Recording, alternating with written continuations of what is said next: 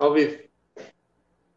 Saudações, muito boa noite a todos. Eu sou Lucas Berlanza, presidente da diretoria executiva do Instituto Liberal. Eu tenho a honra de estar dando início a mais um mês, ao quinto mês desse projeto, pelo qual nós temos tanto carinho, que é o nosso núcleo de formação liberal. Uma parceria entre o IEL, o Grupo de Estudos Dragão do Mar e o Instituto Libercracia, que vem estudando sempre em transmissões simultâneas no Facebook do Instituto Liberal e no canal do YouTube ou do Dragão ou do Libercracia. No caso, hoje, nesse mês de setembro, estaremos transmitindo pelo canal do Dragão, sempre estudando a obra de um autor referencial da história do liberalismo, da história do pensamento liberal, tentando trazer uma discussão que qualifique o pensamento dos nossos ativistas e dos nossos divulgadores da obra desses autores do pensamento liberal como um todo. Nós já estudamos no primeiro mês Hayek, começando pelo autor que inspirou uh, o fundador do IEL a se tornar liberal, e muitas figuras começaram pela leitura da obra de Hayek. Nós já trabalhamos a obra de Joaquim Nabuco, sempre intercalando um autor estrangeiro com um autor nacional. Em seguida, estudamos a obra de Edmund Burke, depois, o pensamento de Roberto Campos. Voltamos, então, uh, ao estrangeiro. Voltamos, aliás, ao terreno dos economistas austríacos, com o qual nós demos início ao nosso núcleo, porque este mês de setembro será dedicado ao aniversariante do mês, que é uh, uma figura que conquistou inúmeros brasileiros nos últimos anos, ganhando espaço, inclusive, em manifestações de rua onde placas e cartazes com o nome dele foram levantadas, conquistou altíssimos índices de pesquisa nos sites de busca, até rivalizando ou superando a figura de Keynes uh, no Google. Eu, todos vocês já devem saber que eu estou falando de Ludwig von Mises. Então é com esse autor tão referencial que nós vamos nos ocupar nos três encontros de setembro, nos dias 15, hoje, 21 e 28. Nos nossos encontros sempre tem um relator, eventualmente é um relator convidado, que vem abordar de 30 a 40 minutos o conteúdo de uma obra selecionada do autor ou sobre ele, sempre no interesse de tentar apresentar ao longo dos três encontros, tanto quanto possível, nas dimensões reduzidas do tempo, o panorama do pensamento, do significado daquele autor para a tradição liberal. A gente traz hoje a obra o contexto histórico da escola austríaca, com base na edição da LVM Editora, na coleção Von Mises, nas páginas 89 a 139, como a seleção de referência, e na verdade é o conteúdo em si do livro, que é pequeno. A gente tem nessa edição um prefácio, pós-fácio, conteúdo adicional que a LVM sempre traz, mas essa seleção, de fato, tem o texto do Mises uh, sobre o assunto. Eu quero, em primeiro lugar, uh, saudar o representante do Grupo Dragão do Mar, que está conosco hoje, o Tiago. Tiago, pode fazer aí a sua saudação ao público. Obrigado, Berlanza. Pessoal, muito boa noite. Para quem não me conhece, sou Tiago Muniz, sou diretor de eventos do Grupo dos Dragão do Mar. Para mim é uma honra poder estar representando o grupo aqui nesse projeto que já está no seu quinto mês e tem sido essencial, penso eu, para construção do movimento liberal, essa parte mais educacional, discutir autores. Então, para o Dragão e para mim, é uma honra estar aqui e estar recebendo o professor Alex hoje. Muito obrigado. Pessoal do Instituto Libercracia eh, não conseguiu entrar ao vivo com a gente logo ao começo. Se eles aparecerem, se eles conseguirem chegar, eles entram ao longo da conversa. Como vocês sabem, aqueles que nos acompanham, para quem não sabe, fique sabendo, o núcleo de formação liberal se estrutura com uma explanação inicial, como eu disse há pouco. Depois, nós abrimos para uma discussão entre os representantes uh, dos institutos membros do projeto e a participação do público, sempre trazendo aí as suas dúvidas e as suas ponderações. Esse projeto oferece também um certificado de presença. É um pouco atrasado, mas, mas a gente já avançou no, na, na entrega dos certificados já, já receberam, uh, quem se inscreveu lá no Nabucco já recebeu, e agora também receberam, que quem se inscreveu no link já recebeu as perguntas, um questionário do Burke. Depois a gente manda do campus e já estará aberto também o link para quem quiser se inscrever pelo certificado dos encontros relativos a Mises.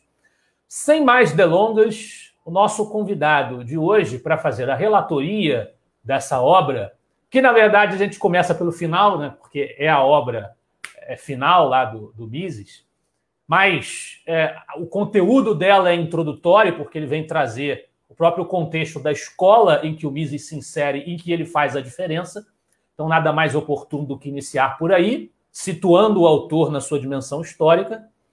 Uh, nós temos como relator uh, ele que já esteve conosco uh, no mês relativo a Burke, volta então para falar sobre Mises, ele que também é um representante da LVM Editora e do Instituto Mises, nosso amigo e editor Alex Catarino.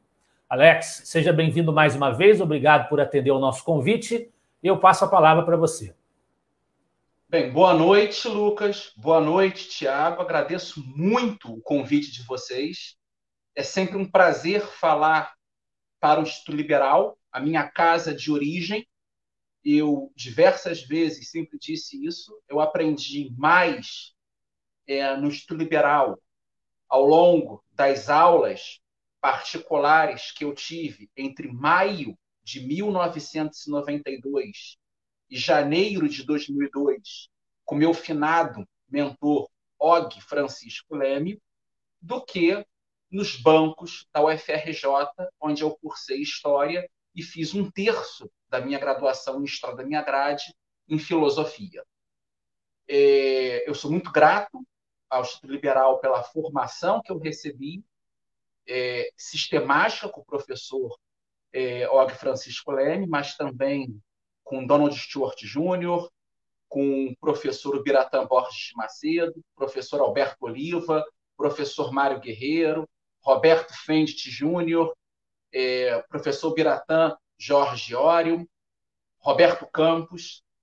E eu, é, eu tive a honra imensa é, de conhecer essa grande geração de autores liberais brasileiros dos anos 70, 80 e 90, de todos os grandes pensadores, que eu incluiria também o nome de embaixador José Oswaldo de Mirapena, meu finado mentor, é, o Biratã Borges Macedo.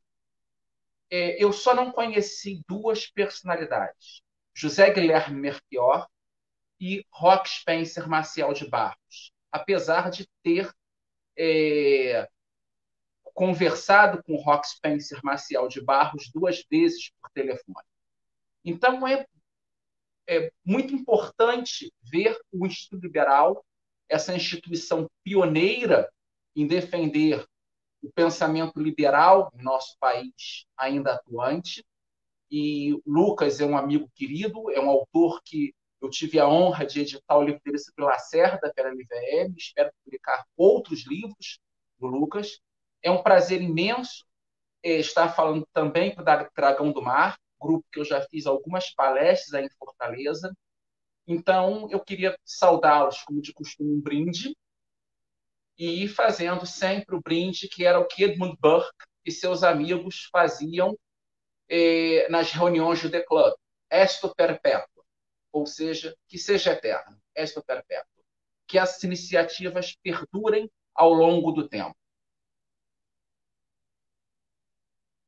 E é interessante, e aí eu lembro aqui de uma questão que o professor é, Biratã Borges Macedo sempre insistia comigo, que ao tratar da filosofia, ele seguindo a visão do professor Antônio Paim, do professor Miquel Reale, ele dizia que é fundamental entendermos os problemas.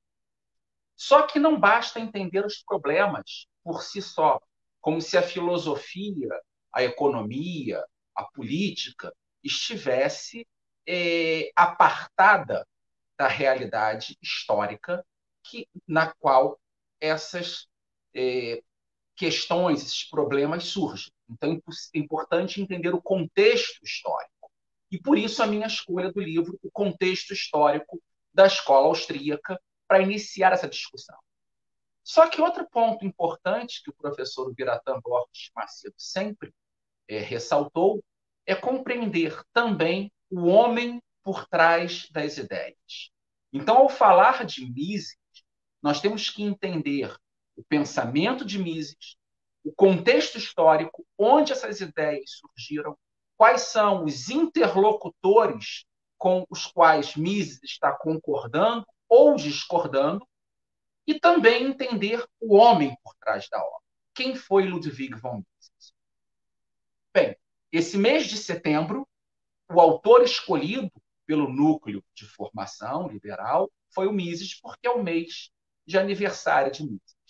Mises nasce no dia 29 de setembro de 1881, na cidade de Lviv, é, antiga Lemberg, na, é, hoje na Ucrânia, na época era parte do Império Austro-Húngaro, e é importante nós entendermos o que, que é o Império Austro-Húngaro naquele momento, era talvez é, a maior força civilizatória da Europa, até mesmo mais do que a Inglaterra, a Inglaterra vitoriana, só que a Inglaterra vitoriana mais uma questão de uma unidade inglesa acima das identidades é, regionais de Escócia, Gales, Irlanda. Então, o, tinha essa visão mais uniforme, ao passo que o Império Austro-Húngaro era um império policêntrico em termos de legislação. Então, muito da visão de autores como Hans Hermann Hoppe acerca dessa visão de legislação policêntrica, competição de eh, jurisdições, isso existia no Império Austro-Húngaro. É, um cidadão é, desse império, um súdito deste império, se ele tivesse nascido na parte da República Tcheca, atual República Tcheca hoje, ele teria uma língua própria, que era o tcheco, ele teria a própria legislação, e esse Império Austro-Húngaro unia essas diferentes nacionalidades e uma visão de cultura imensa. Viena era a grande cidade europeia do período. Mises nasce nessa cidade, hoje na Ucrânia. É, o pai dele era um engenheiro ferroviário, está construindo estradas de ferro, e ele depois volta para Viena e é educado em Viena. É, o, o avô dele era um membro muito respeitado na comunidade judaica, e foi elevado à nobreza, por isso von Mises era um baronete, ele tinha, eh, o avô conquistou esse título de nobreza que passa para a família até chegar ao, ao Mises. O Mises ele era um nobre de família judaica, então esse pluralismo, o papel da comunidade judaica muito importante para entender o contexto e o papel de outras nações ali, a Hungria, a República Tcheca, a Polônia, eu até brinco dizendo que, em verdade, a escola austríaca de economia poderia ser chamada de escola polonesa, porque o fundador dela, Karl Menger, estudou na universidade na Polônia. Então, a mesma universidade que, anos depois, é, Karol Wojtyła, o futuro Papa João Paulo II, foi professor, a Jagiellônica. Então, esse contexto de pluralidade cultural é muito importante para entender é, onde o pensamento de Mises, de Hayek, de Menger, Bombaverk se desenvolve. Essa Viena no fim de século, que é a Viena de grandes cientistas, Gregor Mendel na biologia, Sigmund Freud na psicologia, Albert Einstein na física, Eric Feglin na ciência política, então, é interessante entender como funcionava isso e a própria noção do que, que era a Universidade de Viena. Só que para entender esse contexto da Universidade de Viena e essa visão cosmopolita da escola austríaca, essa visão interdisciplinar, a própria insistência de Frederic August von Hayek, seguindo os passos de Mises, de dizer que um economista que é apenas economista não será um bom economista, isso está relacionado à própria formação de Mises, de Hayek em Viena. Por um Karl Popper, por exemplo, também estudou em Viena. O Popper ele já estava prestes a concluir o doutorado dele e ele tinha dúvidas se a tese dele de doutorado seria sobre física ou sobre psicologia ou sobre música. Então, era uma formação universal. A universidade, de fato, formava essa universitas, essa visão do todo. E esses homens estudaram profundamente a física, os avanços da física na época, a passagem da física newtoniana para essa física moderna com Einstein. Eles estavam ali estudando na época que essas discussões estavam ocorrendo. A matemática moderna, a lógica moderna. Então, todo um desenvolvimento das ciências físicas, das ciências matemáticas, das ciências eh, biológicas, das ciências psicológicas e a economia traz isso. Só que falar de escola austríaca de economia é falar também de liberalismo.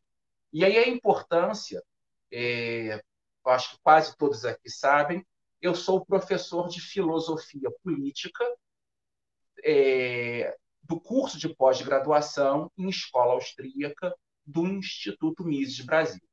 E é uma coisa que eu sempre falo na minha cadeira, que eu tenho que focar na visão da filosofia política da escola austríaca, e o tema principal é democracia, como Mises, como Hayek, como Rothbard, como Hoppe entendem a democracia, essas quatro visões possíveis dentro da escola austríaca, eu digo que esse tema da democracia na escola austríaca é um pedaço do pensamento político da escola austríaca, que por sua vez é um pedaço dentro de um conjunto maior, que é o pensamento da escola austríaca, então, o pensamento filosófico, o pensamento político, o pensamento econômico. E esse pensamento da escola austríaca, por sua vez, é um pedaço de um conjunto maior, que é o pensamento liberal, que, por sua vez, está inserido no macro conjunto da filosofia ocidental. Então, eu recomendo, e um cuidado meu, sempre como professor, mais do que expor doutrinas ideias fechadas, eu gosto de apresentar bibliografia aos meus alunos, eu recomendo que leiam o livro A Evolução Histórica do Liberalismo, organizado pelo professor Antônio Paim. E eu recomendo, nessa edição aqui, basicamente quatro capítulos. O primeiro capítulo é o capítulo de minha autoria, o capítulo 1, no qual eu falo sobre os fundamentos teóricos do liberalismo. O que é o liberalismo? O liberalismo é uma filosofia política, é uma visão de mundo, é um movimento que entende que a vida só faz sentido em liberdade.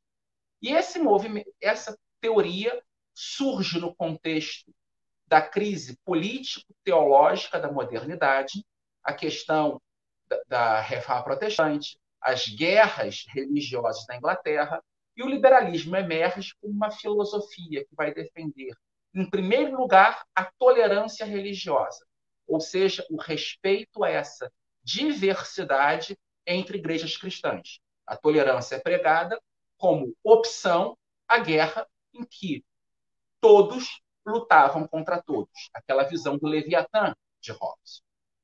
O segundo ponto do liberalismo, quando ele surge, esse liberalismo visionário, é a defesa da representação política, a ideia do governo civil, o, par, é, o parlamentarismo, a lei, o Estado de Direito, acima do arbítrio dos governantes. Então, a lei acima da vontade do monarca.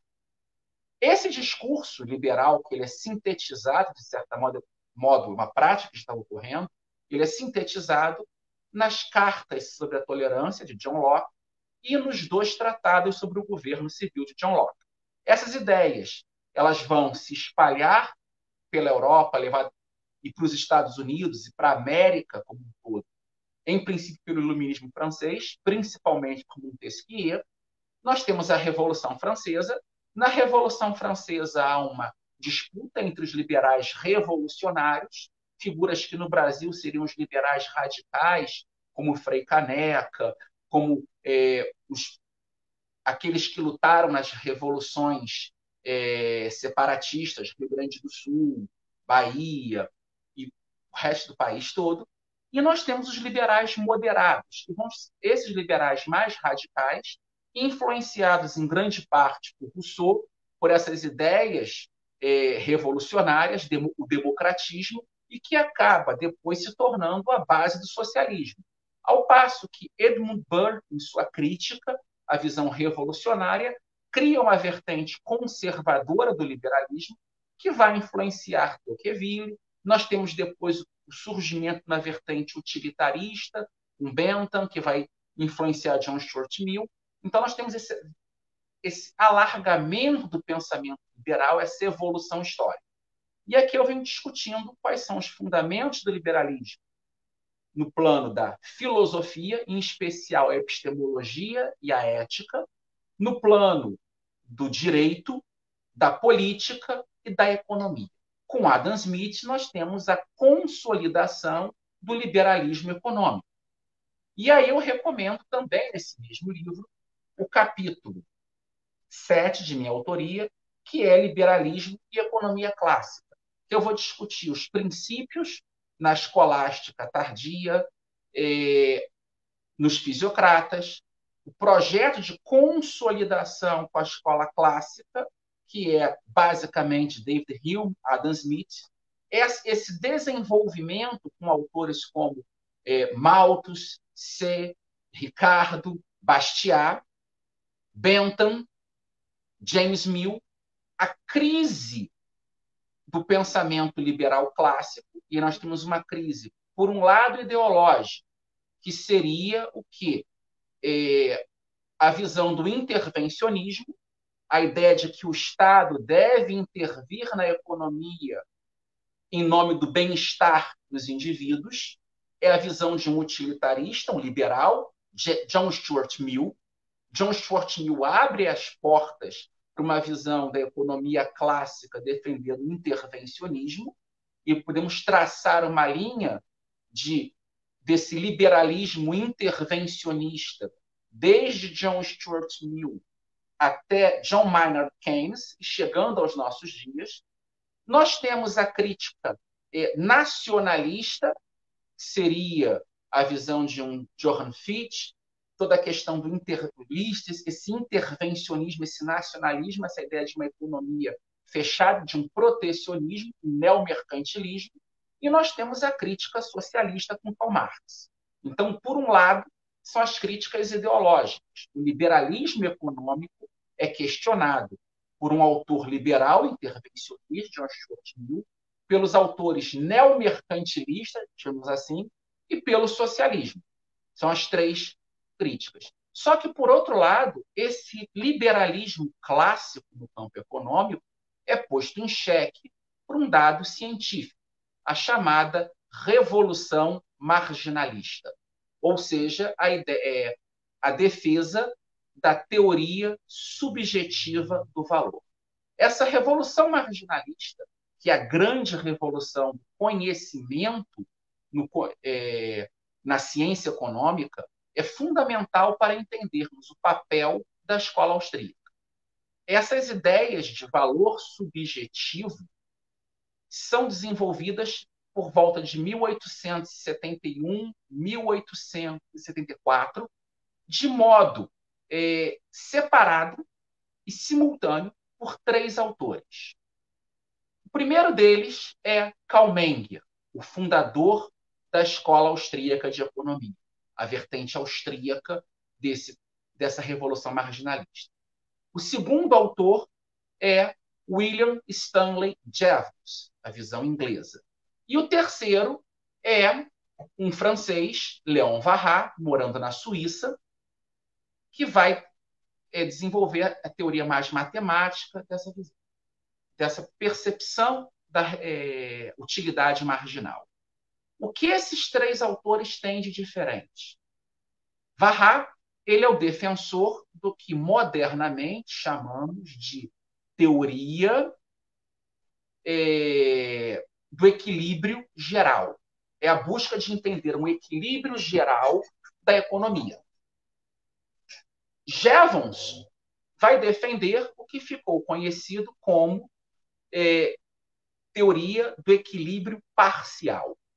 Um discípulo de Jevons, é, Alfred Marshall, tenta criar uma síntese entre a visão do equilíbrio geral, parrasiano, com a visão é, inglesa, de Jevons, de equilíbrio parcial.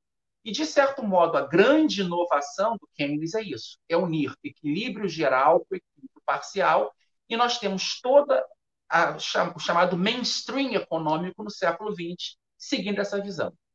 No entanto, Menger ele vai num ponto distinto. Menger ele vai defender a ideia de processo de mercado. Não existe equilíbrio, porque o mercado é o resultado da ação humana. Nós não podemos reduzir a ação humana dos indivíduos a uma teoria de equilíbrio, seja geral ou parcial.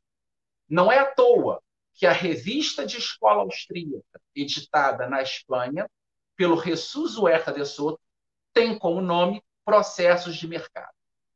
Isso é o ponto fundamental no plano econômico desse primeiro tratado do Menger, que separa a escola austríaca de todas as demais correntes econômicas. Os austríacos não entendem a economia como uma teoria de equilíbrio, seja parcial ou geral. Entende como um processo dinâmico. É um processo de mercado, um processo em que você leva em consideração a ação humana no tempo real, não num tempo newtoniano linear, mas um tempo entendido na visão da filosofia, por exemplo, de um Henri Bergson, que entende o tempo como um feixe de experiências, ou seja, o tempo é como uma bola de neve que, enquanto se desenrola, cresce cada vez mais e mais experiências são acumuladas. E o terceiro fator, o conhecimento, na ideia de que esse nosso conhecimento é falibilista, nós estamos lidando com é, limitação do nosso entendimento da realidade. E Mises traz isso junto com Hayek. Essa é a síntese austríaca, feita de modo brilhante pelo professor Ubiratan Giorgioli. Para entender esse liberalismo contemporâneo, no qual Mises se insere, tanto no campo da economia, por um lado, quanto da filosofia e da política, por outro, eu ainda recomendo aqui mais dois capítulos do livro Evolução Histórica do Liberalismo, que seria um, o capítulo é, 11, As Escolas Econômicas Liberais Contemporâneas, ao, é, capítulo de autoria do professor Biratan Giorgiori, no qual ele fala sobre a escola monetarista de Chicago, a escola das expectativas racionais, a escola da escolha pública a, e a escola austríaca. Então, ele mostra as diferenças entre essas quatro correntes econômicas liberais. E, é claro, o Iório, o austríaco, o nosso decano de escola austríaca, ele vai na síntese de por que os liberais devem hoje optar pela escola austríaca no lugar das demais correntes econômicas. O outro capítulo que eu recomendo é o capítulo 12, as vertentes contemporâneas do liberalismo político, escrita pelo professor Gustavo Adolfo Santos, no qual ele fala sobre o liberalismo social, o neoliberalismo, os libertários radicais e os liberais conservadores e neoconservadores. E aqui ele apresenta a visão de Keynes, Dewey, esses liberais sociais, mas também o José Ortega Gasset. Ele, entre os é, neoliberais, ele vai mostrar é, as escolas políticas que tentam conciliar o intervencionismo com a visão de livre mercado, é, inclusive um John Rawls e outros, autores, e ele vai nos libertários falar de Mises, de Hayek, de Rothbard, e, por fim, ao falar desses liberais e, e também do Robert Nozick, e ao falar desses liberais conservadores, ele vai aí tratar Russell Kirk, Michael Walker, autores tidos como conservadores no contexto britânico e norte-americano, mas que aceitam quase que integralmente a agenda do liberalismo clássico. Mises aparece nesses dois capítulos. É importante para entendermos, com a leitura desses dois textos, o lugar de Mises dentro do liberalismo. Por que eu incluí esse material para vocês aqui e sugiro essa leitura? Até para que vocês entendam onde a escola austríaca se enquadra no liberalismo. E aí nós temos o que? Menger, esse fundador. A primeira grande contribuição de Menger, diferentemente de Jevons e Varrakis, pregam a ideia do equilíbrio, é essa noção de processo dinâmico, processo de mercado. Só que a segunda grande contribuição dele é no seu tratado de 1883, que são as investigações acerca dos métodos das ciências econômicas e sociais, no qual ele vai reforçar a ideia da teoria econômica, do individualismo metodológico, em oposição à chamada escola historicista alemã de economia. E aqui o que Mises nesse livro faz, é fundamental esse livro para entender o contexto em que surge a visão de Mises, e a minha tese, a minha, eu sempre defendo isso nas minhas aulas da pós-graduação, Mises ele é a síntese da escola austríaca de economia, é, na minha opinião, o maior economista de todos os tempos. Eu sou um fã de carteirinha é, do Mises. Eu dediquei a, minha, a maior parte da minha vida a estudar a tradição conservadora burkeana, Burke, é, Irving Babbitt, T.S. Eliot, Russell Kirk, Roger Scruton.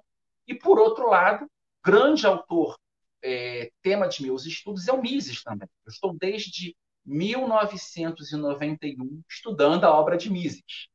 Então, a maior parte de vocês não era nem nascido, eu já estava lendo Mises. Eu, come, eu, eu, comecei a ler Ação Humana pela primeira vez em 1992. Era um garoto de 17 anos lendo Ação Humana. Graças a Deus, com o apoio do professor Guilherme Piano, do próprio Donald Stuart Jr., do professor Piratã Jorge Ório, só que o Mises, nesse texto aqui, ele fala o quê? Primeiro capítulo, Karl Menger e a Escola Austríaca de Economia. Então ele vai colocar o que, que era a Viena na época dele, o papel é, dessa escola austríaca no contexto das universidades austríacas, como essa escola austríaca surge, inclusive relacionada a essa visão interdisciplinar do conhecimento, filosofia, é, economia, política, direito, sociologia, psicologia, a impossibilidade de entender a economia como ciência da ação humana dissociada de outras ciências, no campo da filosofia, principalmente as discussões de epistemologia. No, ele fala aqui sobre a vida intelectual da Áustria, ainda dando essa ideia, fala do Menger e, por fim, vai mostrar dois grandes discípulos do Menger, Ogden von Bombarwerk e Friedrich von Wieser, e os dois que trabalharam para o governo, foram membros do gabinete econômico austríaco. No capítulo 2, ele já vai entrar num ponto que é fundamental para entender esses debates, que é o conflito entre a escola austríaca de economia e a escola historicista alemã de economia.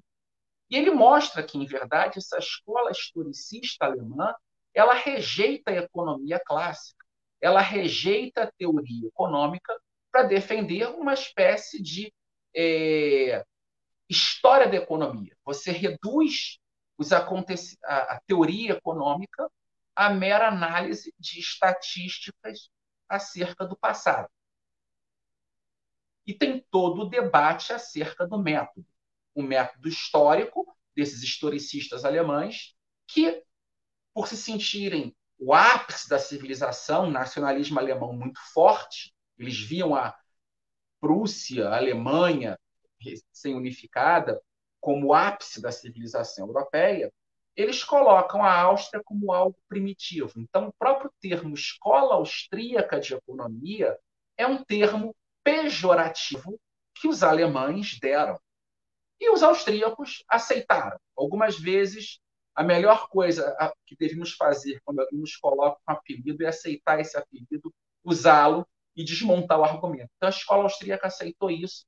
E, se, e o Mises ele reforça muito, nesse primeiro capítulo, essa ideia da universidade, da cultura austríaca, para mostrar que primitiva era a Alemanha. A Áustria era um império cosmopolita, um império avançado, e a própria escola austríaca está dentro desse contexto cultural, sociológico da Áustria de sua época. Por isso, Mises, quando nos anos 40, fugindo do nazismo, vai para os Estados Unidos, ele vai morar em Nova York e se adapta também ao ambiente cosmopolita nova-iorquino. Mises era um cosmopolita, um homem que é, vai é, se forma em economia, vai trabalhar no exército como é, engenheiro de artilharia. Então, é, o discurso de que Mises não usa matemática porque não sabe é uma mentira. Mises conhecia profundamente matemática, um cálculo de balística, de um canhão daqueles mecânicos da Primeira Guerra Mundial. Tinha que ter muito conhecimento de matemática, relatividade da Terra. Então, ele tinha um bom conhecimento, só que ele vê que essa matematização, esse uso, esse abuso das estatísticas, não nos fornece um conhecimento é, correto da economia. Depois, o Mises fica com seu seminário privado em Viena, do qual é, figuras importantes participaram, inclusive o próprio Eric Feglin foi aluno do Mises nesses seminários privados. Mises vendo as, o risco da ascensão do nazismo e o risco da Alemanha anexar a Áustria, ele se muda para Genebra, na Suíça, se torna professor de um dos mais importantes institutos de relações internacionais. Só que ele vendo que o desastre nazista ele não estaria seguro nem mesmo na Suíça, ele resolve emigrar para os Estados Unidos, tenta fugir pela Espanha, acaba passando por Portugal, e numa coisa quase cinematográfica, a vida do Mises daria um excelente filme, que é uma vida com muita aventura, romance, ele acaba indo para os Estados Unidos e começa a carreira. A vida do Mises, em termos de pensamento intelectual, ele pode, pode ser dividido em dois, duas grandes fases. A primeira é a fase alemã. Desde a publicação do seu primeiro tratado de economia sobre eh, a teoria eh, da moeda e dos meios fiduciários, em 1912, até a publicação do seu livro National Economic, em 1940, Mises só escreve em alemão. Então, nós temos essa primeira fase, de 1912 a 1940, Mises é um autor de língua alemã. Quando ele chega nos Estados Unidos, ele tem acesso às traduções dos dois únicos livros dele que tinham em inglês, a Teoria da Moeda dos Meios Fiduciários, erroneamente traduzida para o inglês como Teoria da Moeda e do Crédito, e o outro livro dele, Socialismo, uma análise econômica e sociológica, ele encontra diversos erros de tradução. E ele acha um absurdo, ele diz que a partir dali ele iria só escrever em inglês, ele teria que aprender inglês, e aí tem todo um trabalho cuidadoso. Mises é um autor muito humilde nesse ponto, diferentemente do Hayek. O Hayek achava que sabia inglês. O Mises, a vida inteira, entendeu que ele era um alemão tentando escrever em inglês e os livros do Mises eram sempre revisados pelo Henry Hazlitt, pela Bettina Ben-Greaves. Então teve um cuidado. O primeiro livro do Mises em língua inglesa, ou seja, da produção do Mises entre 1944, ele fica entre 40, quando chega nos Estados Unidos, a 44, escrevendo, mas não publicando, vai ser de 44 até a morte dele, em 10 de outubro de 1910, 1973, desculpa, 10 de outubro de 1973, a obra do Mises é toda em inglês. E o primeiro livro dele saiu pelo Clube Ludovico. Quem não é assinante, assinem. Até quem, quem assinar, eu tenho um código de desconto, tudo em maiúscula, Alex10, o Grande Potente, agora em português, exclusivo pelo Ludovico. É a primeira obra do Mises em inglês. E essa obra se segue no mesmo ano de 44, Burocracia. É interessante que eles publicam o Governo Onipotente, três meses depois, Burocracia, e três dias depois de Burocracia, é lançado O Caminho da Servidão do Hayek. De certo modo, o livro do Hayek, O Caminho da Servidão, essa obra que iniciou muitas pessoas ao liberalismo, acabou abafando esses dois tratados de Mises sobre a burocracia e esse governo onipotente. E o Mises segue em inglês. Muitas das obras dele que nós conhecemos, inclusive, é, seis lições, são obras póstumas, são conferências dele. E o último texto que ele publica em vida, em 1969, é esse o contexto histórico da escola austríaca de economia, que foi a conferência dele de despedida como professor da NIU, a New York University. Então, esse texto é o texto que resume a visão final do Mises, é uma reflexão, uma anamnese acerca do que é a escola austríaca de economia. O papel do Mises nesse ponto, já falei aqui, tem esse duplo pensador, o pensador alemão de 1912 a 1940 e o pensador inglês de 1944 a 1973, e é incrível que até hoje é, obras do Mises são descobertas. É, eu gostaria de me aposentar passar o resto da minha vida trabalhando nos manuscritos inéditos, tanto do Russell Kerr quanto do Ludwig von Mises, e esses arquivos do Mises estão dispersos em alguns lugares.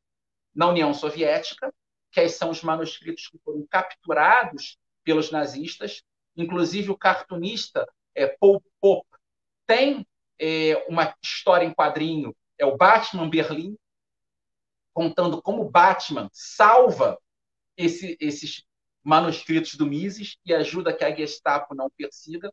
Foi interessante. E a Gestapo foi bater no apartamento do Mises e um dia antes ele tinha voltado para Suíça e ele achou que tinha perdido a biblioteca dele e os manuscritos dele, só que ficaram num vagão de trem na República Tcheca, um vagão de trem é, dos nazistas, que depois os soviéticos capturaram e foi para o arquivo é, em Moscou. Que quem trabalhou esses arquivos foi até um amigo meu, professor Richard Eblin, e ele falou: tem muita coisa lá ainda a ser trabalhada. O Eblin publicou apenas três volumes desses manuscritos que estão em Moscou. Então, é um trabalho para os historiadores irem buscar esse, esse manuscrito e publicar mais coisas do Mises. Nós temos uma coleção de textos do Mises que estão é, sob os cuidados da Foundation for Economic Education, e foi interessante que eu conheci três presidentes consecutivos, o primeiro, o Mark Skousen, o segundo, Richard Evelyn, e atualmente o Lawrence Reed. Então, eles têm material que merece ainda ser publicado. Desses livros, nós temos, por exemplo, é, duas obras já que a LVM lançou, que são oriundas desses é, arquivos, que é o Marxismo Desmascarado e o Livre Mercado e Seus Inimigos. Vou até mostrar aqui para vocês a coleção que eu tenho editado pela LVM, que a ideia nossa é publicar as obras completas de Mises em português, algo que não existe nem em inglês nem em alemão. Muitas das obras que saíram em alemão ainda não têm tradução para o inglês, e quase todas que saíram em inglês não foram traduzidas para o alemão, mas temos esses arquivos da Foundation for Education. O terceiro lugar que nós temos arquivos do Mises é o Grove City College, onde o Hans Senholz dava aula, então tem vários manuscritos do Mises lá. Temos a Hoover Institution, na Stanford University, onde até o Thomas Sowell é pesquisador. Existe uma coletânea imensa de arquivos do Mises lá, inclusive principalmente correspondência.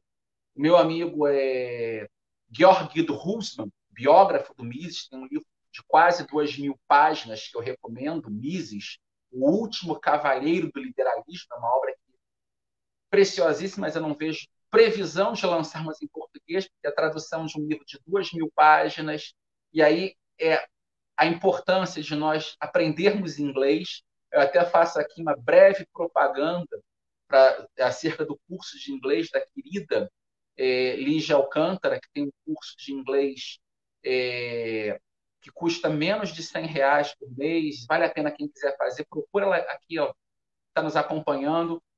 Nós, nós precisamos saber inglês, porque tem uma gama de coisas que não serão em português e são impossíveis. O custo de um livro desse, por exemplo, de duas mil páginas, é quase impossível é, você a conta fechar, de traduzir, imprimir e encontrar um número suficiente de compradores que justifiquem. Então, quem quiser se aprofundar é, totalmente na vida do Mises, vai ter que saber inglês para ler esse livro do Georg Guido Husman.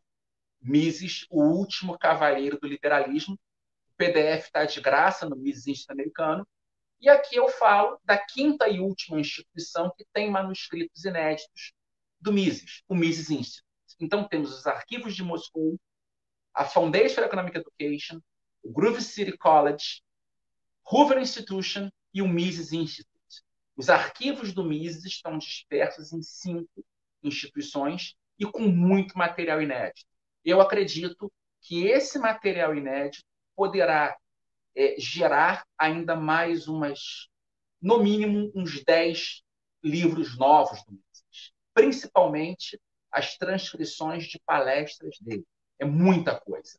Mises, só mudando de autor, no caso do Kirk, eu já tenho organizado, no mínimo, é, cinco livros do Kirk, sendo que só sobre Burke eu tenho um livro dos textos inéditos dele sobre o assunto. É, no Kirk Center, eu trabalhei com mais de 50 caixas de manuscritos. Então, é, é, é absurda a produção intelectual de homens como Kirk, como Hayek, como Mises, e esse material precisa ser descoberto. Então, para vocês que estão nos acompanhando e são estudantes de filosofia, de história, de ciências sociais, de economia, existe material para diversas teses de doutorado. Conhecimento ele não para.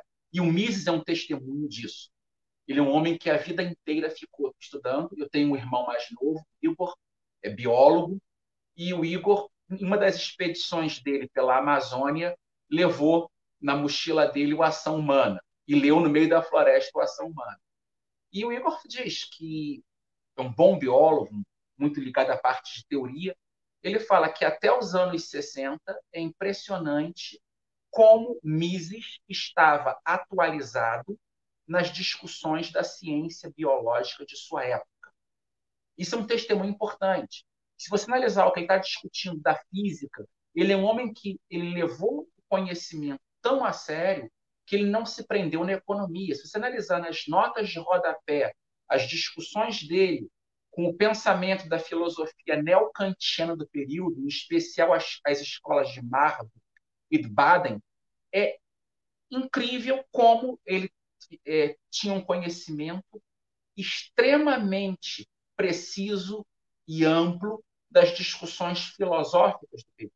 Mas isso também se deu no campo da sociologia, no campo da economia, no campo da física, no campo da biologia. Ele traz todo esse material para o trato da ação humana. Eu vou concluir aqui para abrir ao público, tentando é, respeitar aqui o limite dos 45 minutos, falando um pouco das obras de Mises, é, que eu tive a honra de editar, algumas eu não editei, nós temos hoje no Mises, no Instituto Mises Brasil ainda, e mas no futuro eu quero fazer edições novas para a LVM, o livro Liberalismo, que é o livro dele de 1927. Ele apresenta, após ter publicado em 1922 uma crítica ao socialismo, ele achou que seria honesto publicar em resposta qual é a visão dele de uma sociedade liberal. Então está aqui Liberalismo, texto original de 1927 e publicado originalmente no Brasil pelo Instituto Liberal em 85, e temos hoje essa edição, que é de 2010, do Instituto Mises Brasil. Mas no futuro teremos uma edição nova da LVM. Nós temos o clássico Ação Humana, na tradução do Donald Stewart Jr., lançado originalmente em 1990 pelo Instituto Liberal, e essa é a edição de 2010 do Instituto Mises Brasil.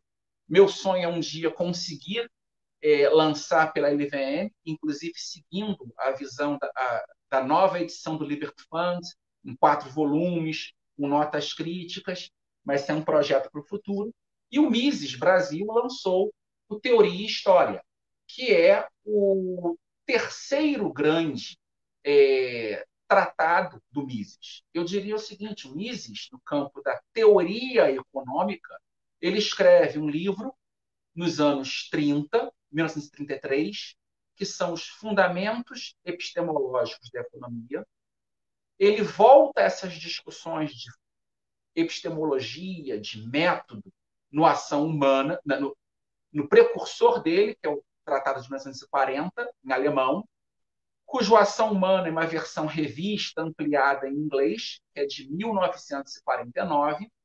Nesse texto aqui, Teoria e História, de 1957, ele volta a esses problemas e ele finaliza as discussões no Fundamentos Últimos da Ciência Econômica, que é o texto dele de 1967.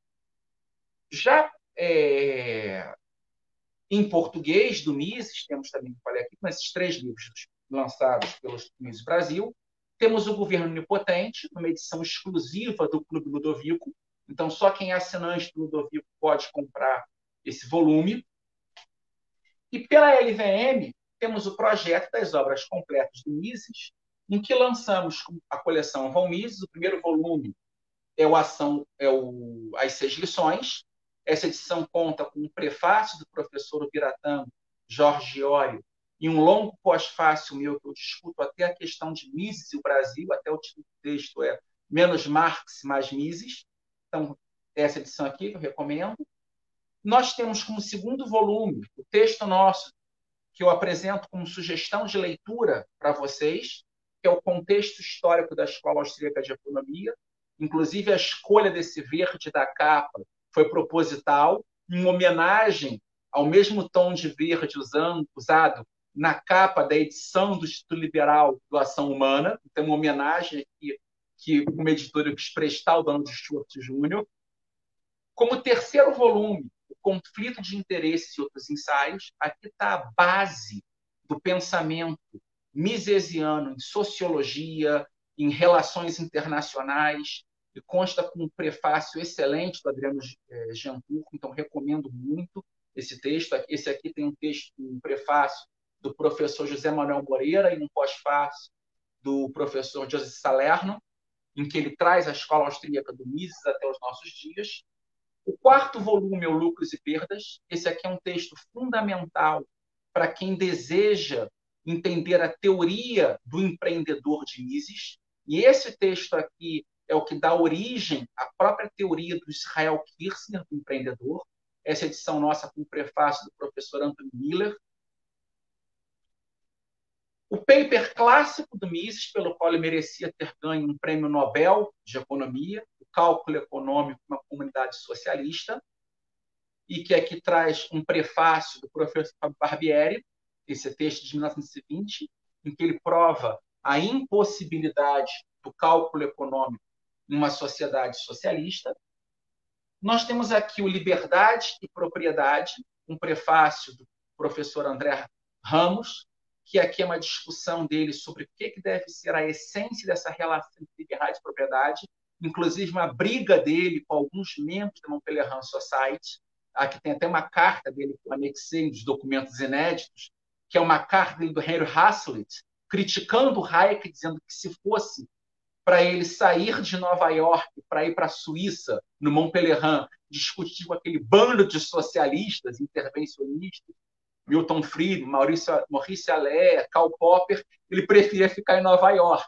E o Hazlitt convencendo que era importante o Mises, com esse radicalismo dele, está na Suíça para contrapor aquele bando de socialistas. A piada que dentro do movimento liberal tem muito quando Mises vê Hayek, Friedman, aí eles discutindo qual, qual seria o tipo de intervenção estatal aceitável na economia ele se revolta, abandona a mesa dizendo vocês são bancos socialistas. Então aqui esse livro aqui ele traz um pouco da é, foi a conferência que o Mises apresenta firmando a posição dele de que não há defesa da liberdade individual sem uma defesa da liberdade econômica. É, é o velho debate entre o Einaudi e o Croce. Se podemos, se o liberalismo ele precisa do liberismo, como dizia o Merkel, ou seja, a visão da liberdade econômica, ou se é possível manter um Estado de Direito, uma democracia representativa sem o livre mercado. O Einaudi, na época, perdeu o debate, mas a história mostrou que o Einaudi e não o Croce tinha razão. E o Mises se mantém fiel a essa visão. É impossível defender a liberdade individual, o Estado de Direito, o sistema representativo, sem uma defesa da economia de livre mercado. Temos aqui a mentalidade anticapitalista, que nessa edição aqui temos um prefácio do Francisco Raso, o texto clássico do Mises de 56, sobre moeda e inflação. É o último livro do Mises que saiu em inglês, saiu em 2010, organizado pela Bettina Ben Greaves. São notas taquigrafadas dela de algumas palestras do Mises. E essa edição tem um prefácio da professora Mariana Piai Abreu. Então, quem quiser entender a teoria econômica monetária do Mises, comece por esse aqui, sobre moeda e inflação. Temos o cálculo planejado, que é, na verdade, uma síntese da visão deles acerca do nazismo, do fascismo, do socialismo, e é um texto que, essa edição, nós temos um prefácio do Bruno Garchagen, então é um texto que vale a pena para entender a visão política do Mises, muito do que ele discutiu nos tratados do socialismo, glória onipotente, ele aqui retoma uma visão sintética, e o prefácio do Bruno Garchagen já é por si só um texto de referência, nós temos o livro inédito do Mises, que publicou, escreveu em 41, mas nunca publicou, só postumamente, saiu em 1998, que é Intervencionismo, uma análise econômica. E esse texto aqui, é, a tradução foi do Donald Stuart Jr., tem uma introdução dele, saiu em português quase que simultaneamente em inglês. Foi um trabalho belíssimo feito pela Foundation for Economic Education. Então, isso aqui é parte dos manuscritos inédita na, na, na FIA. O marxismo desmascarado, que nessa edição nossa da LVM, nós temos uma, é, um prefácio do professor Antônio Paim e um longo pós-fácio do Murray Rothbard, que já é uma aula de marxismo fundamental esse texto. Isso aqui são as conferências que o Mises na biblioteca pública, então é a transcrição. Então, é, eu sempre recomendo quem quer entender uma boa crítica ao marxismo que comece com esse livro do Mises, O Marxismo Desmascarado, depois leia é, O Marxismo Ocidental, do José Guilherme Merchior, e conclua com a leitura de Marxismo e Descendência, de Antônio Paim. Eu acho que a leitura desses três textos é um conhecimento amplo. Só te interrompendo rapidamente, Alex, o, o Rothbard também é autor do Essencial von Mises, né, tentando apresentar ali o pensamento do mentor Exatamente, dele. exatamente. E nós temos aqui para a coleção o livro Crítica ao Intervencionismo. Esse, por acaso, é uma coletânea de textos do Mises de 1929. Foi o primeiro livro do Mises que eu li na minha vida, no final de 91. Eu encontrei num sebo, a edição antiga do IEL, e essa edição aqui está revista e conta com um prefácio do nosso secretário de Políticas Públicas do Ministério da Economia, Adolfo Saxida. Então, antes do Adolfo ser secretário, eu pedi que ele escrevesse, convidei, e temos aqui uma edição que eu recomendo muito, Crítica ao Intervencionismo. Por fim, mais uma conferência da FIA, o Livre Mercado e seus Inimigos, que essa edição nossa conta até com um prefácio exclusivo do Jeffrey Tucker. E, por fim, na coleção Von nós temos os fundamentos últimos da ciência econômica. Um belíssimo prefácio do professor Alberto Oliva, da UFRJ. Então, esses são os 14 volumes da coleção Von da LVM, para vocês. E nós fizemos dos livros mais populares versões simples, ou seja, lições, a versão comum, tem um prefácio de autoria do Hélio Beltrão e minha, e tem o é, Mentalidade Anticapitalista, a versão simples também, um prefácio escrito pelo professor Birata Iori por mim. A diferença dessas edições é que é só o texto do Mises e esses curtos prefácios. Na coleção Von Mises é um texto para estudiosos. Então, tem uma série de notas de rodapé que eu escrevi explicando certos conceitos, certos é, termos, é, sugerindo leituras para quem quer aprofundar, não só do próprio Mises, mas de outros autores como Hayek, Rothbard, Hoppe, Kirchner, para um aprofundamento. E é basicamente isso que eu tinha a conversar com vocês hoje. Então, esse é Mises, esse grande autor. É importante, eu acho, para resumir aqui essa minha apresentação, entender o Mises dentro do contexto da Escola Austríaca de Economia, e, por sua vez, dentro desse contexto do liberalismo como um todo, entender que esse autor é multidisciplinar, que escreve primeiro em alemão, depois em inglês, e que tem visões distintas. O Mises é, alemão, ele inclusive é mais otimista. Ele acha que o liberalismo, exclusivamente uma frase que muitos liberais repetem, não tem cores, não tem flor, não tem bandeira. Isso ele falou em 27, antes de ver o que era o nazismo. O Mises doação humana, ele já acha que os liberais têm que ser ativos, têm que ter bandeiras, têm que ter cores. Então a gente tem que também contextualizar o autor. Existem dois Mises. Um Mises antes do nazismo, mais racionalista, mais é, até empirista em alguns aspectos, e existe o Mises pós-nazismo, o Mises do ação humana, o Mises da crítica da mentalidade é, anticapitalista, o Mises do teoria e história. Então, acho que basicamente é isso que é importante vocês entenderem. Acho que essa é a mensagem principal que eu queria passar para vocês hoje. A importância de entender o pensamento do Mises em conjunto com a biografia do autor, mas mais do que isso, é, como parte fundamental da escola austríaca de economia, que por sua vez é parte do liberalismo. E aqui um brinde a vocês e aguardo as considerações.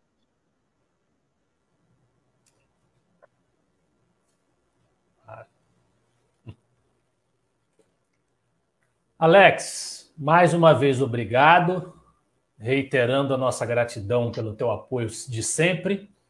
Se a minha memória não me falha muito, da última vez em que o Alex esteve aqui, é, a gente brigando com a abrangência do conteúdo que ele traz, brigando com o Cronos, brigando com o tempo, nosso amigo Tiago ficou praticamente sem condições de dizer uma palavra. Eu acho que ele estava aqui na, naquela vez e não conseguiu dizer nada. Então não serei fominha, deixarei que ele faça Obrigado, a primeira intervenção. Porque é, é, a exposição do professor Alex é muito, muito rica. Inclusive, é, é eu, eu, considero. Só o, o chat aqui eu estava lendo, só elogios, só elogios, só elogios. E não é por menos, realmente você merece. Bom, Inclusive, eu só queria fazer um comentário sobre o chat. Eu acho interessante que a, a, nós temos um grupo muito fiel de pessoas que acompanham o NFL toda semana. Ao ponto que essas pessoas já entram no chat e começam a conversar entre si, como conhecidas. Pronto, professor Alex. É, hoje a gente está tratando do contexto histórico da escola austríaca. É uma, é uma linha muito rica, muito rica mesmo mas eu gostaria que você comentasse. A gente tem muito. Uma, sabe dos nomes mais clássicos da escola austríaca: Mises, Hofbauer, Hayek, Menger. Mas eu gostaria que você comentasse um pouco da produção contemporânea da escola austríaca. Que autores têm produzido, que obras merecem atenção, na sua visão? Bem, é, eu vou fazer primeiro um prolegômeno, como um bom kantiano, prolegômeno toda a metafísica futura. A escola austríaca se divide em gerações. O próprio Mises começa dizendo que é, em 1870 não existia escola austríaca, existia MEN. Então, esse é o fundador. E eu recomendo muito, de novo, propaganda aqui, meu querido padrinho Biratan Giorgiori, nosso decano, que escreveu dos proto-austríacos Amém. O último capítulo desse livro, o 12 capítulo, ele fala do Menger, o papel fundamental do Menger em consolidar esse conhecimento que vem desde os é, escolásticos tardios ibéricos, passa pela economia clássica, por outros autores franceses, alemães, espanhóis, para chegar a Menger. Menger ele é essa síntese, esse, é esse divisor de água na economia. A, eco, a ciência econômica, ao meu ver, é AM-DM, antes de Menger e depois de Menger. Ele é um divisor.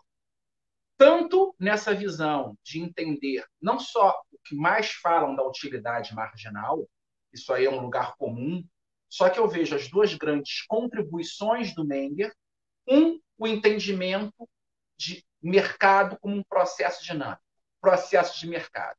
E o outro, a questão do individualismo metodológico, que separa toda a escola austríaca das demais correntes econômicas. Eu recomendo, está de graça na internet, é, o editorial que eu escrevi para a edição número 2 da revista Mises, que eu explico um pouco os pontos de confluência entre a noção de tradição conservadorismo, a noção de ordem espontânea no liberalismo hayekiano, e, por fim, vou discutir o papel do método, que é, ao meu ver, o ponto central que se deve discutir na escola austríaca.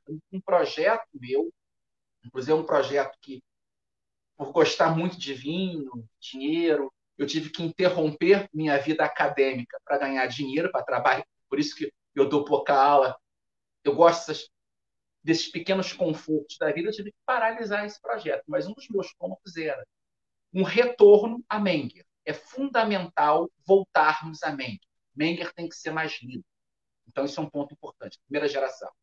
A segunda geração da escola austríaca, nós temos Bombaver e Wieser. Na terceira geração, nós temos Mises e uma série de outros autores. É, uma, é um universo que se perdeu. O professor é, Fábio Barbieri falou que ele adoraria aprofundar, estudar o alemão, para voltar, porque daí nós vamos ter muitas teses de doutorado nessa terceira geração. E a geração na qual a escola austríaca era o mainstream. Depois temos a quarta geração, que são os discípulos de Mises, e nós temos três grandes, vamos dizer, quatro grandes vertentes. Nós temos Hayek, nós temos Rothbard, nós temos o Israel Kirchner e nós temos também o que é pouco estudado e nós temos talvez até uma figura que poderia falar mais no futuro sobre Lachman, que estudou muito, que é a Marina Piai Abreu. Então a gente tem esse trabalho dos Lachmanianos, que é a questão da incerteza total. E hoje nós temos uma quinta geração. Quem é essa quinta geração de austríacos? São os discípulos de Hayek, muitos deles não economistas austríacos. Nós vamos encontrar elementos hayekianos no pensamento de vários outros prêmios Nobel de Economia. Eu citaria aqui é, apenas alguns que eu conheci pessoalmente. James Buchanan, com a teoria da escolha pública. Gary Becker, com toda a visão de que o Becker transforma tudo em economia, análise de família, análise do crime, análise da educação, a questão do capital humano. O Becker é muito hayekiano nesses elementos. Ronald Coase tem elementos hayekianos na análise eh, econômica do direito. E nós temos, foi meu professor em 2002, ao, ao final do ano ganhou o Prêmio Nobel de Economia, que é o Vernon Smith. O que, é que o Vernon Smith faz? Ele pega a escola austríaca de economia, tanto é, Hayek quanto Mises, e mistura e traz esse, essa base para trabalhar com psicologia experimental, teoria dos jogos e direito. A grande inovação dessa economia comportamental do professor Vernon Smith, que era a figura, ele chegava na George Mason para dar aula, é, longos cabelos brancos, barba branca, tudo tatuado no braço, jaquetão de couro, calça de couro, bota até o joelho, pilotando a sua Harley Davidson. Parecia o Willie Nelson, era uma figura, e brilhante. E nas aulas misturando escola austríaca, matemática, teoria dos jogos, física eh, moderna. é de um brilhantismo Vernon Smith. E ele tem essa base, inclusive na revista Mises, número 4, eu publiquei um artigo do Vernon Smith que ele fala sobre essa influência dele, assim como na Mises 3 tem um artigo do James Buchanan mostrando a influência austríaca dele. Ele aceita muito Hayek e critica a praxeologia misesiana. Então esse é um ramo. Esses autores do das correntes liberais que têm essa base hayekiana. Nós temos os discípulos de Rothbard. E aí eu citaria grandes economistas como Mark Thornton, na análise dele sobre a economia das drogas, a análise sobre a economia dos arranha-céus e como você pode chamar pelo efeito arranha-céu entender crises econômicas. Nós temos o Georg Guido Husman, que tem uma análise profunda sobre as relações entre ética e moeda, e é um trabalho brilhante, é um professor alemão, esse biógrafo Mises. Husman é uma figura assim incrível e é um intelectual muito respeitado, amigo pessoal, inclusive, do Papa Bento XVI, é uma pessoa que é recebida até hoje em Castel Gandolfo para conversar, é um, é um grande economista, o Roosevelt tem grandes inovações, o Bagos, que trabalha com a questão do euro, as crises moeda, o Joseph Salerno discutindo moeda também. Então, o próprio Hans Hermann Hoppe, com algumas discussões dele sobre a propriedade privada na economia, os incentivos. Então, existe toda essa linhagem e que você vai ter anualmente duas conferências importantes feitas. Uma é a ER, a Conferência de Pesquisadores de Escola Austríaca, todo mês de fevereiro no Mises americano. E a outra é uma grande conferência feita no Groove City College. É... Além disso, você encontra um seminário anual, além todo mundo conhece o Mises University, feito no final do mês de novembro, mas, não, de junho, mas no começo de junho existe uma conferência de pós-graduandos que o Mises americano organiza, todo reúne no máximo 16 pesquisadores e durante uma semana cinco professores vão é, debater textos. Então, um ano teve um ano que o debate foi o Man Economic State, Rothbard, teve um ano que foi o Ação Humana, e geralmente e nós temos sempre um discussion leader, alguém que vai fazer a discussão, guiar essas discussões, e um professor. Então você tem uma hora de palestra e duas horas de debate sobre o texto, com esse discussion leader. Geralmente, o professor Joseph Salerno, eu fui durante três anos seguidos o escolhido para fazer um as discussões, seu discussion leader, com o pesquisador convidado, da sessão de metodologia. É a minha grande área de pesquisa na escola austríaca. É aqui eu faço um discípulo do professor Alberto Olivo. A minha grande preocupação em escola austríaca é o método.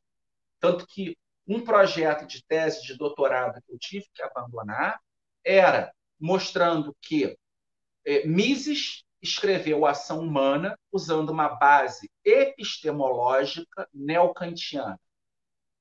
O Rothbard escreve Indivíduo, Economia e Estado, discutindo a ação humana numa base realista aristotélica.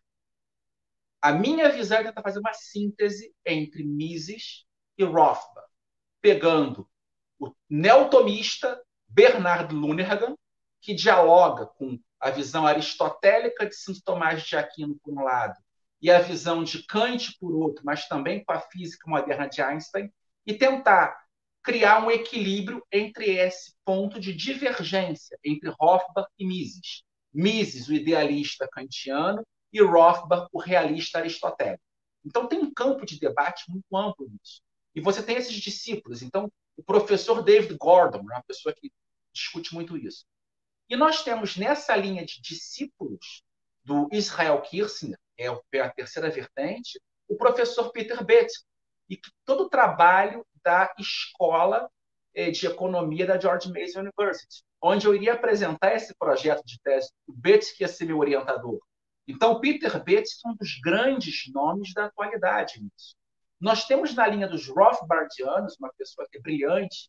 Eu sempre falei, eu participava nesse grupo do Mises, das discussões, eu era o discussion leader de metodologia, que era a cadeira do professor David Gordon.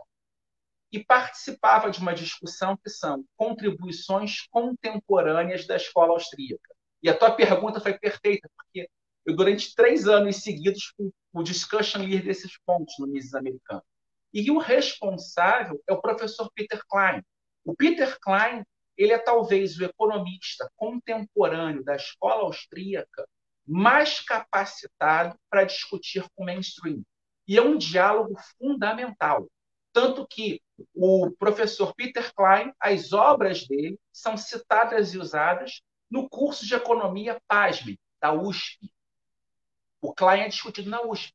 E ele é tão bom, ele, ele, ele coloca a perspectiva dele austríaca num diálogo tão amplo com a economia do mainstream que muitas pessoas nem percebem que aquilo é escola austríaca. Isso é ótimo. Você consegue ser o cavalo de Troia, colocar essas ideias. Então, eu diria que os grandes economistas austríacos contemporâneos vivos estão ligados ao Mises Institute, à George Mason University, à Universidade Rei Juan Carlos, com o Rei de Soto, Universidade Engels, com é, o Georg Husman. Existe uma produção imensa. Só na George Mason, Peter, é, o Peter Betz, o Lawrence White, que teve no Brasil já, estão produzindo obras novas a cada ano. O Richard Eblin acabou de publicar um livro novo sobre moeda. Então, a escola austríaca ela está viva, produzindo muito e pesquisas de última geração. Então, quem quiser, pelo campo da economia, seguir a escola austríaca, o legado de Mises continua vivo. Só que a partir de diferentes vertentes é, inspiradas por seus discípulos. Desculpe me alongar. Alex, foi uma outra palestra, só que você tocou é, em dois pontos que são centrais para mim. A questão da metodologia, porque você, é, é, um, é um campo que. E as novas contribuições. Isso aí foram três anos seguidos orientando mestrandos e doutorandos lá nos Estados Unidos, nesses encontros meio do ano, sobre o assunto.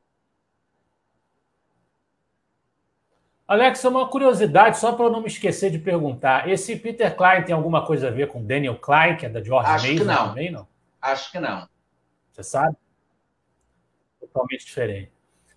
Bom, é, eu tenho minhas questões a fazer, mas de olho no relógio, eu vou prestigiar o público que está nos acompanhando. Eu estou vendo que tem muitos comentários, a maioria deles, como disse o Tiago, é de interações entre as pessoas que estão acompanhando, elogios, a gente agradece, pessoal que acompanha a gente, está ali a Lígia, a Débora, é, Otávio Piascoves, que também está.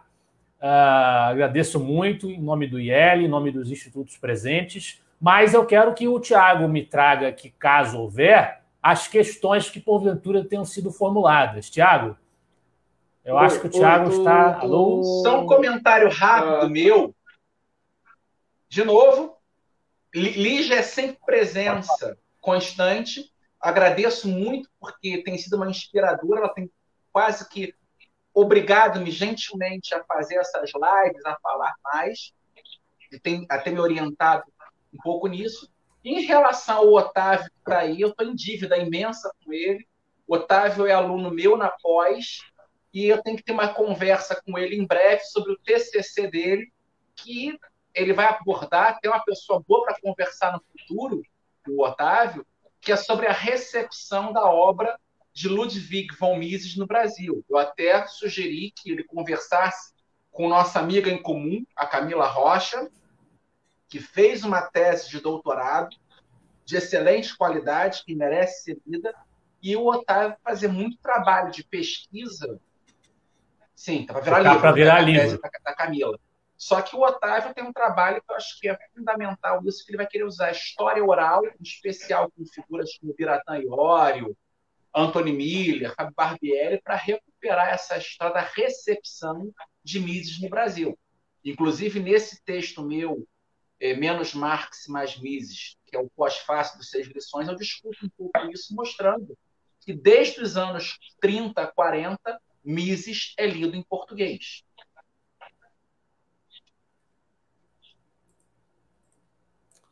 Tiago, eu estava te pedindo para você ver as questões que o público, porventura, tiver formulado para a gente poder prestigiar o máximo possível, de olho no Pronto. relógio. Pronto, Ver eu o só que queria. É porque foram tantos comentários que o chat do, do, do YouTube enterrou alguns mais antigos. Então, peço se você tiver feito uma pergunta há algum tempo, por favor, a repita no chat. Eu vou puxar aqui a pergunta do Otávio. Alex, para os iniciantes, qual a ordem de leitura do MIS que você indica? Bem, aqui é uma pergunta que inúmeras vezes me fizeram isso. A minha sugestão é simples. Todos devem começar com, as, é, com seis lições. As seis lições é o livro número um a ser lido. O segundo livro depende da tua área de interesse. Eu acho que, no geral, para quem trabalha com filosofia, história, mas que para todos vale a pena, seria o contexto histórico. Então, acho que se você ler primeiro os seis lições e depois o contexto histórico, você vai entender a base do Mises. Se você é um aluno de ciências sociais, sociologia, ou até de... eu iria como, como terceiro livro o contexto histórico, não, o conflito de interesse e outros ensaios. Já se você é uma pessoa mais voltada a preocupações práticas, um empreendedor, é, um advogado, eu iria como terceiro livro, Lucros e Perdas. Se você é um economista, o terceiro livro a ser lido é o Cálculo Econômico numa Comunidade Socialista. Então, se você está mais preocupado com política, o terceiro livro é Liberdade e Propriedade. Então, o primeiro livro que eu sempre recomendo, As Seis Lições. O segundo, o contexto histórico da Escola Austríaca de Economia. E o terceiro livro, um desses quatro, de acordo com a área de interesse de vocês. Inclusive, a montagem, quando eu desenhei o projeto original da coleção Von Mises, editor, eu pensei nisso. Número um é o Seis Lições. Número dois, o contexto histórico. E os quatro livros seguintes, um para cada área. Se a pessoa é mais ligada à área de humanas, se a pessoa é ligada mais à área é, prática, empresarial, se a pessoa é ligada à teoria econômica ou se a pessoa é ligada à política. Depois disso, o quarto livro, e aí para o campo da política, seria a mentalidade anticapitalista. Para os economistas, o quarto livro, tem para quem mexe com finanças, sobre moeda e inflação. Como quinto livro, para quem tem interesse na política, Caos Planejado. Depois viria, para quem tem interesse na economia, intervencionismo. Quem tem interesse na política, marxismo mascarado. Quem tem interesse na economia, crítica ao intervencionismo. Quem tem interesse em questões práticas de política, livre mercados inimigos. E quem tem interesse em economia, questões teóricas, os fundamentos. Então, de certo modo, a coleção ela segue uma ordem de leitura que vai intercalando da leitura mais básica para mais profunda, mas dividindo em áreas específicas. Que é importante, eu não, é, sinceramente, um empresário vai lucrar muito lendo cálculo econômico, mas é um texto teórico profundo. Então é melhor que ele leia um lucros e perdas, porque as, mas no geral as teses básicas do Mises estão em as seis lições. Tanto que no curso que eu ministrei pela última vez esse ano, de Ciência Política na pós, que é da teoria austríaca do intervencionismo, eu digo, olha, eu gostaria que todos lessem é, intervencionismo, análise econômica. Quem quiser aprofundar, crítica ao intervencionismo. Mas se você é um empreendedor, e isso é importante, a nossa pós do Mises, ela tem alunos acadêmicos, como o Otávio, que vão ler isso tudo. Ele tem tempo. A vida dele é dedicada ao estudo. Ele tem que ler tudo. Só que nós temos no nosso curso deputados, nós temos empresários. Para essas pessoas, eu digo, gente, basta ler o capítulo sobre intervencionismo do Seis Lições e fazer um trabalho final de curso coerente que você passe na matéria. Eu não vou exigir que um empresário, tendo que vencer um monstro dos boletos, a burocracia estatal, vá ler dois tratados de intervencionismo do Mises. Do Otávio, se ele não ler, está reprovado. É mínimo. De, de, dele é obrigação. Só que a gente tem que ter esse tipo de bom senso. Às vezes falta isso ao professor. Tem que equilibrar. Então, para o nosso público geral que está lendo, vai no, ação, vai, vai no Seis Lições. E a partir dali tem essas vertentes. Eu vou até ver se mais à frente, quem sabe, nesse mês de celebração, eu quero até fazer uma ação de marketing da LVM entre o dia 29 de setembro e 10 de outubro com os livros do Mises, eu até produzo algum conteúdo específico, um vídeo curto, explicando melhor essa ordem de leitura. Mas a base é as seis lições. Comecem com as seis lições. Em segundo lugar, o contexto histórico da Escola Austríaca de Economia. E depois a, ordem de leitura vai de acordo com o interesse de vocês. Mas Mises é um autor que deve ser lido tudo. Ele é muito claro, ele, ele muda a mente. Eu sou conhecido mais como um analista do pensamento kirkiano, mas eu, eu coloco na minha formação, na minha visão de mundo, o Mises impede a igualdade. São os dois autores contemporâneos que formam minha visão de mundo. Kirk e Mises. Tiago, mais alguma? Ah, é uma pergunta sobre previsão de lançamento. Uh, se há previsão de lançamento do livro Socialismo em Português. Ou The Theory of Money and Credit. Não há, por enquanto, a gente está vendo porque eu estou caçando um excelente tradutor do alemão. Esses livros não podem, em hipótese alguma, serem traduzidos do inglês.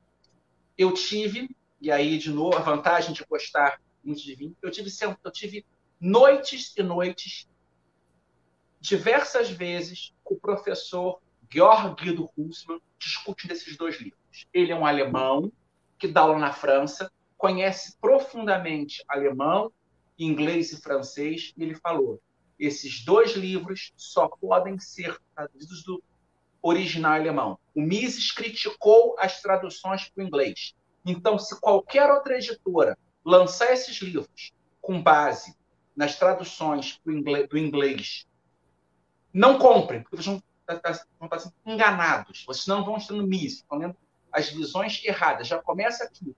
Theory of Money Credit, o título está errado. O Mises não fala de crédito, fala de meios fiduciários. É algo mais profundo. A tradução em inglês, eu não sou um especialista em alemão, mas quando você lê o socialismo, o primeiro capítulo, a discussão do Mises do que, que é propriedade, e aí foi uma discussão longa que eu tive só eu, maluco, mesa cheia de vinho, um bar de jazz, Hans Hermann Hope e eu, o Hope e eu, a gente discutindo o primeiro capítulo do socialismo do Mises. E ele me convenceu que tem que ser. E a gente sentou, abriu, ele me explicou a discussão filosófica do Mises sobre o que, que é propriedade. Toda a teoria hopiana está fundamentada ali. A teoria roupiana sobre o que é propriedade. E a tradução inglesa destruiu as sutilezas filosóficas. Eu quero lançar esses dois livros, mas eu tenho que achar um super tradutor alemão, um super revisor, porque vai, é um livro que um trabalho para ficar dois anos em tradução. E me desculpa, se é para lançar mal feito, eu prefiro pedir demissão, porque eu não vou colocar o meu nome em tradução ruim. A gente tem que ter muito cuidado. A questão acadêmica desses textos é fundamentais.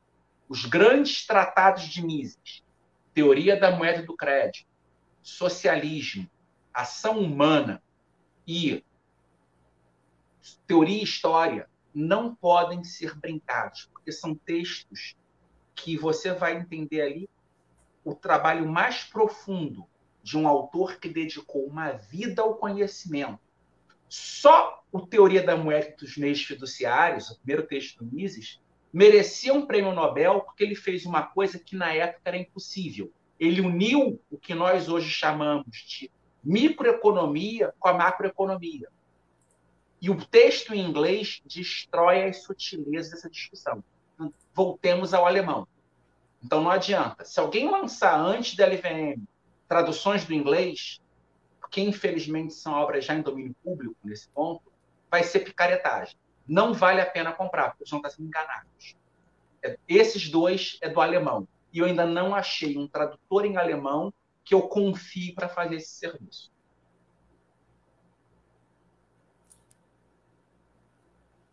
Mais alguma pergunta, Tiago?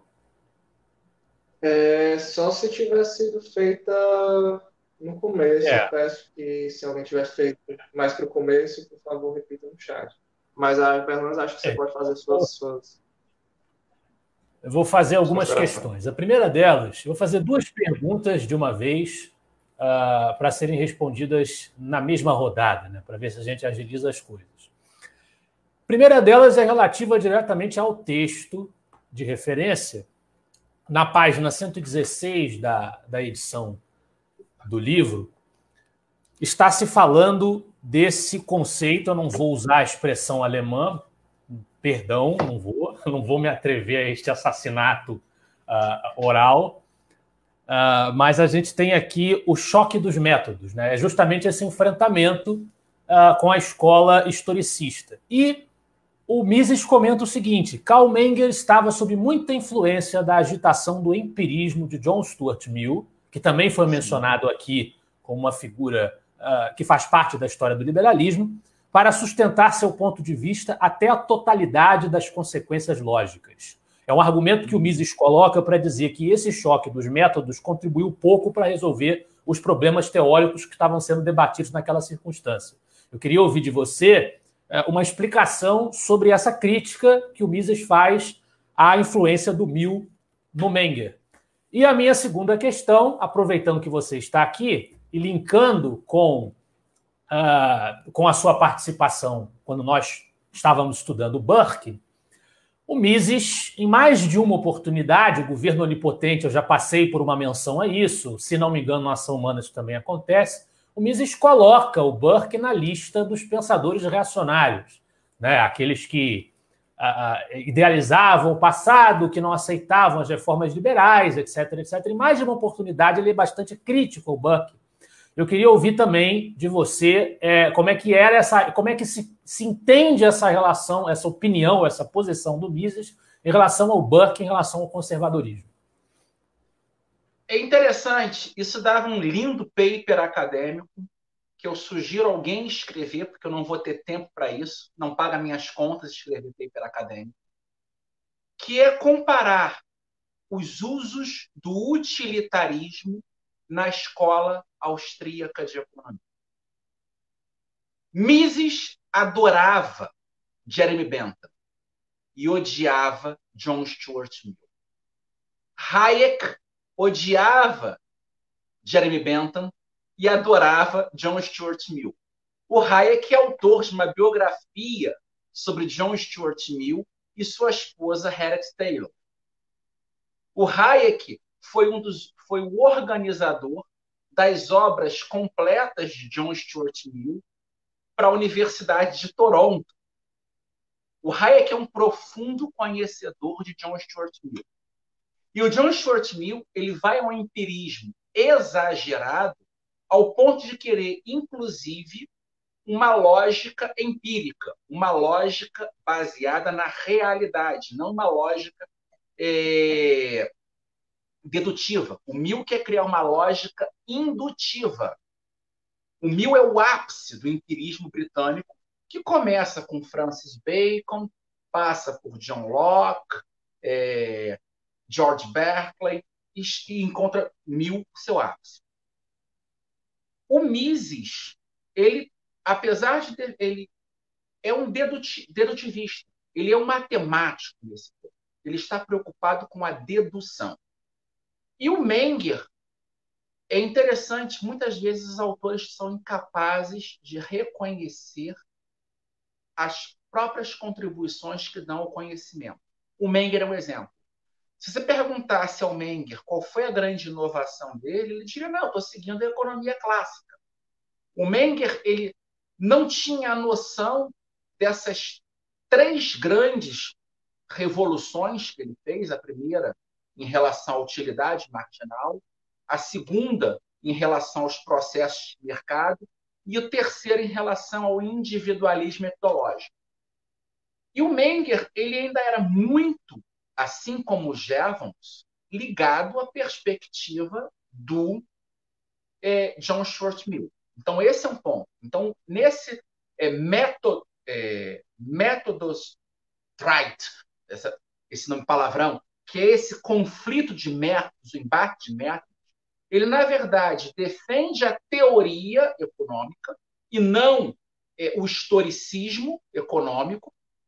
Então, você tem que entender ali é, Schmeller é, e o grande inimigo do Mises, que é o, o nazistazinho.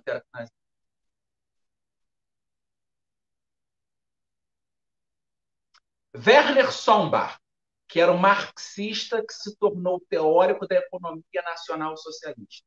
O grande inimigo do Mises nos anos 30 é o Sombart que é a terceira vertente, a, ter a terceira geração, assim como o Mises é a terceira geração da escola austríaca de economia, o Sombart é a terceira geração da escola historicista de economia.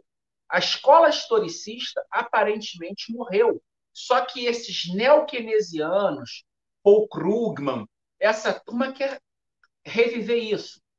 E o caso do Menger aí ele ainda está muito preso à economia clássica. Por isso que eu digo que a grande ruptura e a grande síntese da escola austríaca é o Mises. A economia é antes de Menger, depois de Menger. Mas a obra do Menger chega às últimas consequências, principalmente nos fundamentos metodológicos, que é o que mais nos importa, o Mises. E aí que os quatro tratados que eu falei. É, epistemologia da economia, ação humana, ou a versão original em alemão.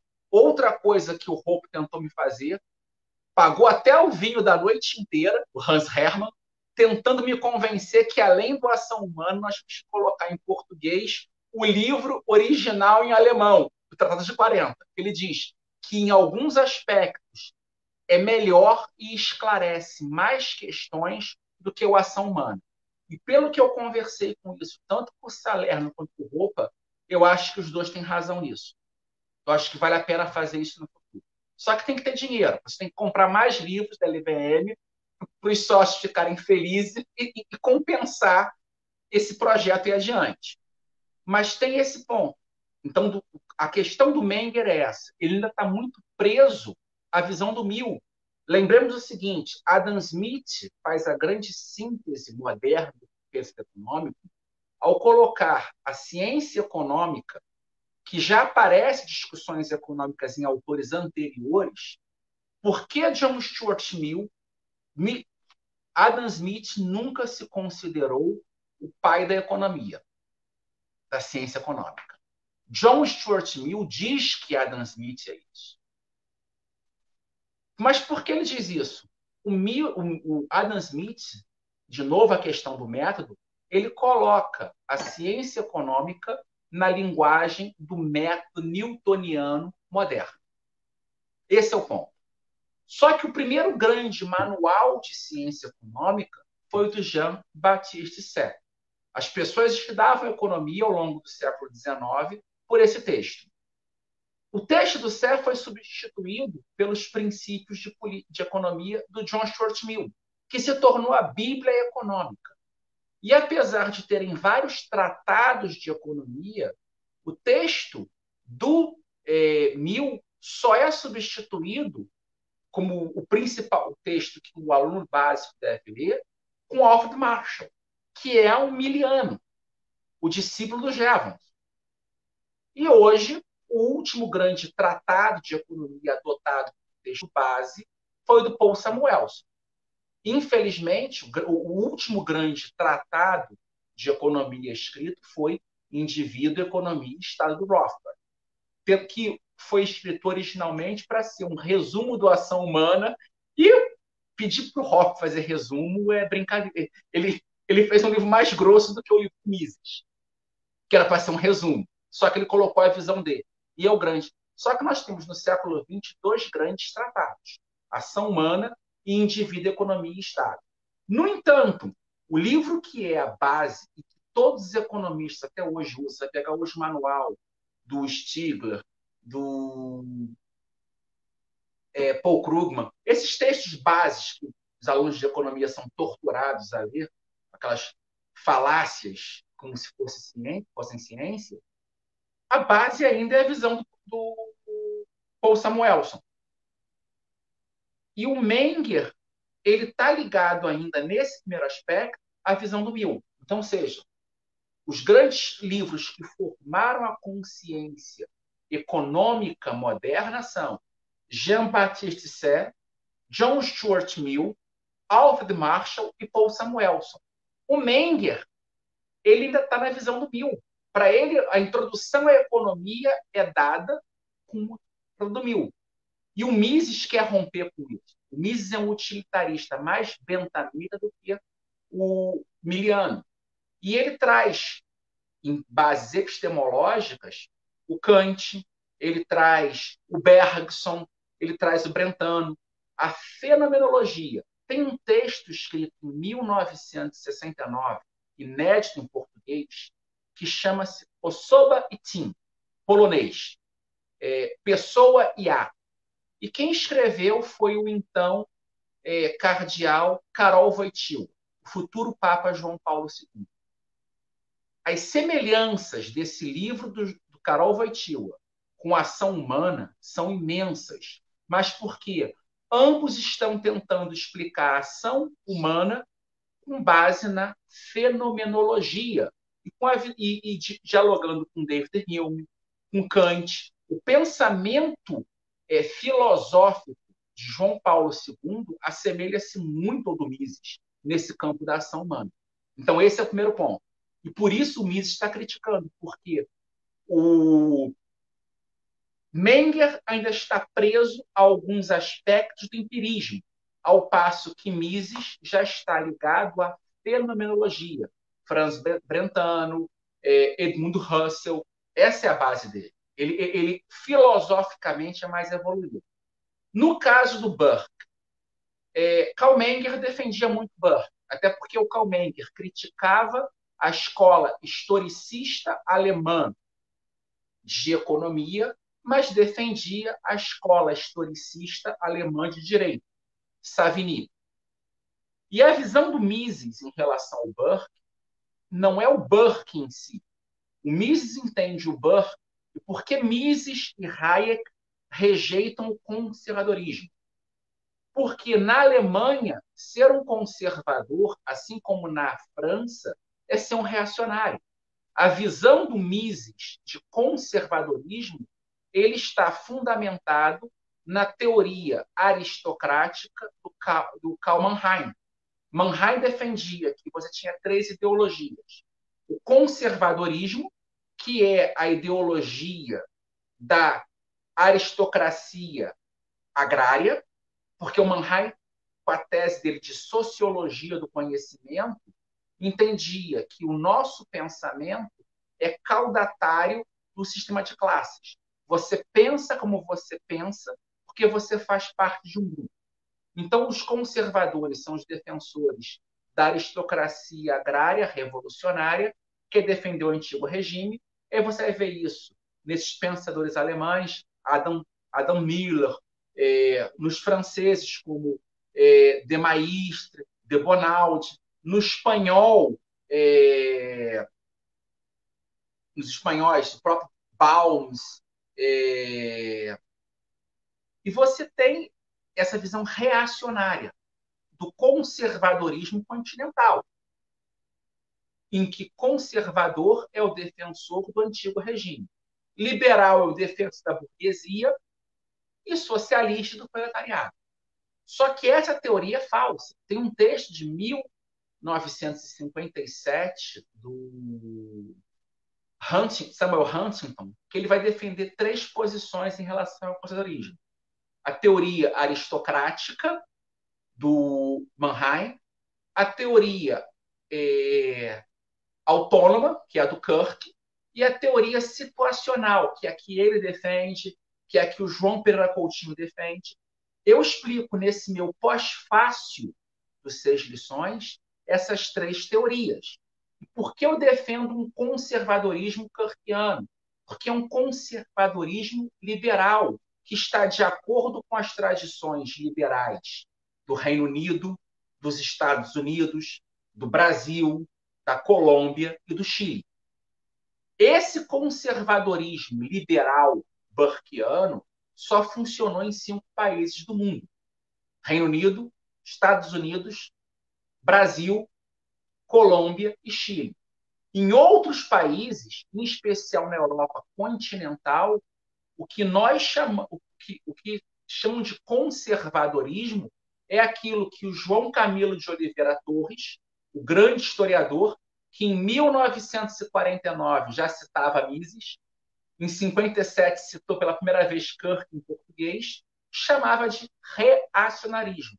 O conservador é um reacionário, mas o Hayek, pela experiência pessoal dele, e o Mises também, na Áustria, na Alemanha, de que esses conservadores são reacionários, e por terem como visão do conservadorismo essa tese de doutorado do Mannheim, que vai trabalhar com as reapropriações do Burke, no, tanto na Alemanha quanto na Áustria, usaram o Burke para defender o antigo regime, coisa que o Burke nunca fez. Só que a visão do Mises está ligada a como o Burke foi usado no universo de língua alemã. É isso. Desculpa, eu me alonguei demais, só que você me fez duas perguntas que são extremamente técnicas. Isso aí eu, eu podia brincar é, era um curso inteiro de pós-graduação. Não, faz parte. Só pontuando que, apesar de a, motivação ser a mesma, de a referência bibliográfica ser a mesma, há uma diferença no tratamento de Burke feito pelo Mises e pelo Hayek.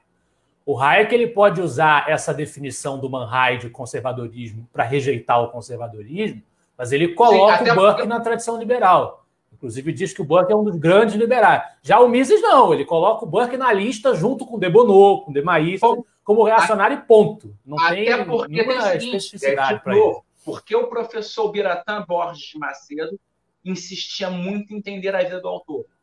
O Mises é um autor continental por excelência. Ele viveu essa carreira dele acadêmica do início do século XX, final do século XIX, século XX, até os anos 40 na Europa. O Hayek era um sujeito que nos anos 20 já estava na Inglaterra. E o Hayek ele consegue captar, assim como o Scruton, a visão do Burke como um Whig, não o Burke como um Tory. O Burke não é um reacionário, ele é um liberal, reformista, antirrevolucionário. O Mises não teve essa experiência. A primeira tentativa que o Mises vê e que ele acha que é incoerente de um conservadorismo com um Burke liberal são os anos 50, 60 nos Estados Unidos, quando surge Russell Kirk, William Buckley Jr., e ele acha um disparate. Como é que vai ter, como é que pode, pode ter conservadorismo nos Estados Unidos se não há feudalismo? Tem uma carta do, do Mises, Ai. preservada no Groove City College, que ele fala isso. Como alguém pode defender conservadorismo em um país que não teve feudalismo? E aí ele faz o ponto de ele não entender essa visão. Então, de, é, nós temos que entender os autores no contexto do debate deles. E o Hayek, nesse ponto, por ter tido essa experiência britânica, ele entende que o Burke não é um reacionário. Tem um artigo, infelizmente, inédito em língua portuguesa. Essas maluquices que eu gosto de pesquisar é, é, é o que o Schaffer fica brincando, dizendo que eu sou um mineiro e um joalheiro. Eu adoro cavar para achar essas pedras e ficar pulindo elas. Escrito por ninguém menos que o finado Sir Roger Scruton. que eu tive o prazer de encontrar três vezes pessoalmente, a última até no Brasil, é, em, ano passado. E o Scruton escreveu, e eu conversei bastante com ele isso, não no primeiro encontro, o primeiro encontro que eu tive com o Scruton foi em 2004, e o último em 2019. Mas no segundo encontro, que a gente tomou um café da manhã junto, o Scruton e eu, e eu questionei essa visão dele sobre o Hayek. Porque o Scruton escreveu um, um texto belíssimo sobre Hayek e o conservadorismo, publicado no Companion sobre Hayek da Universidade de Cambridge. Vale a pena voltar a esse texto do Scruton, porque ele mostra que, na verdade, quando Hayek diz não sou um conservador, por que não sou um conservador? É porque não sou um reacionário ou porque sou porque não aceito o que os conservadores do Harold Macmillan estão fazendo na Inglaterra. O Hayek, quando foi perguntado pelo Henri Maxud, quando Maxud esteve no Brasil, quando Hayek esteve no Brasil, na UNB, o que, que ele era? Ele dizia, cidadão britânico igual meus filhos. Eu, aquele sotaque alemão se considerava britânico. E ele, a briga ali, vocês é o seguinte: o que, que é o Partido Conservador? Quem aqui assistiu The Crown, eu recomendo muito. Eu, adoro, eu, eu acho que eu seria capaz de escrever um livro sobre pensamento conservador a partir de The Crown e Downton Abbey. São dois seriados que valem muito a pena assistir para entender a essência desse conservadorismo britânico. Quem viu The Crown tem na segunda temporada um episódio que é fundamental de sinalizar, que é quando o primeira temporada eu acho, primeira ou segunda, que é quando Churchill é substituído pelo Anthony Eden. O a primeira, segunda guerra mundial, por conta da economia de guerra, houve um intervencionismo a ideia do Churchill era que após a guerra ele cometeu o erro de ser um intervencionista, achar que tinha que intervir ali, e a tese do caminho da servidão. Só que ele tinha a ideia de depois voltar ao livre mercado. Quando ele perde a eleição e o Clement Attlee ganha as eleições, tem até uma piada interessante, que dizem que o Attlee era o primeiro-ministro e o Churchill parlamentar, o líder da oposição, os conservadores. Toda vez que o Attlee ia entrar no banheiro, o Churchill saía correndo e fugia do, atleta. E isso continuava. Um dia o Churchill está no mictório e o atleta chega e não deixa ele sair. E diz: Winston, o que está acontecendo? Nós somos adversários políticos, mas nós somos amigos. Você é padrinho dos meus filhos. E é era verdade. O Churchill, muitas figuras que ele atacava publicamente no parlamento, eram amigos pessoais dele e que ele tinha excelentes relações no privado. E o Atli era um deles. O Atli que ele chamou de um cordeiro em pele de cordeiro. E ele diz, mas por que você está fugindo de mim? E o, Atli, e o John diz, porque vocês, trabalhistas, querem estatizar tudo que é grande e eficiente. e o, e o Atli diz, mas o que há de mal nisso? Aí o Churchill, o mictório aponta para baixo e diz: Você não vê meu corpo perigo? Então, é, essas piadas do Churchill explicam. Esse anedotário é importante para explicar essa, essa posição. Só que você teve essa tentativa. Quando Churchill volta nos anos 50 ao poder, como primeiro-ministro, ele tenta reverter a situação intervencionista. Só que ele não consegue. Ele não consegue o, o socialismo fabiano dos trabalhistas tinham tomado a Inglaterra de tal modo que era quase impossível. O sucessor dele, o Anthony Eden, que é uma cena linda no, no The Crown, que é quando o Rolls Royce do Churchill está indo embora, após a última é, audiência dele com a rainha, vem o Rolls Royce do Anthony Eden. Ele desce, vai lá e aperta a mão. O Eden, que era o filho político dele. O Churchill é um vitoriano. O Churchill, em termos de literato, seria um Chester.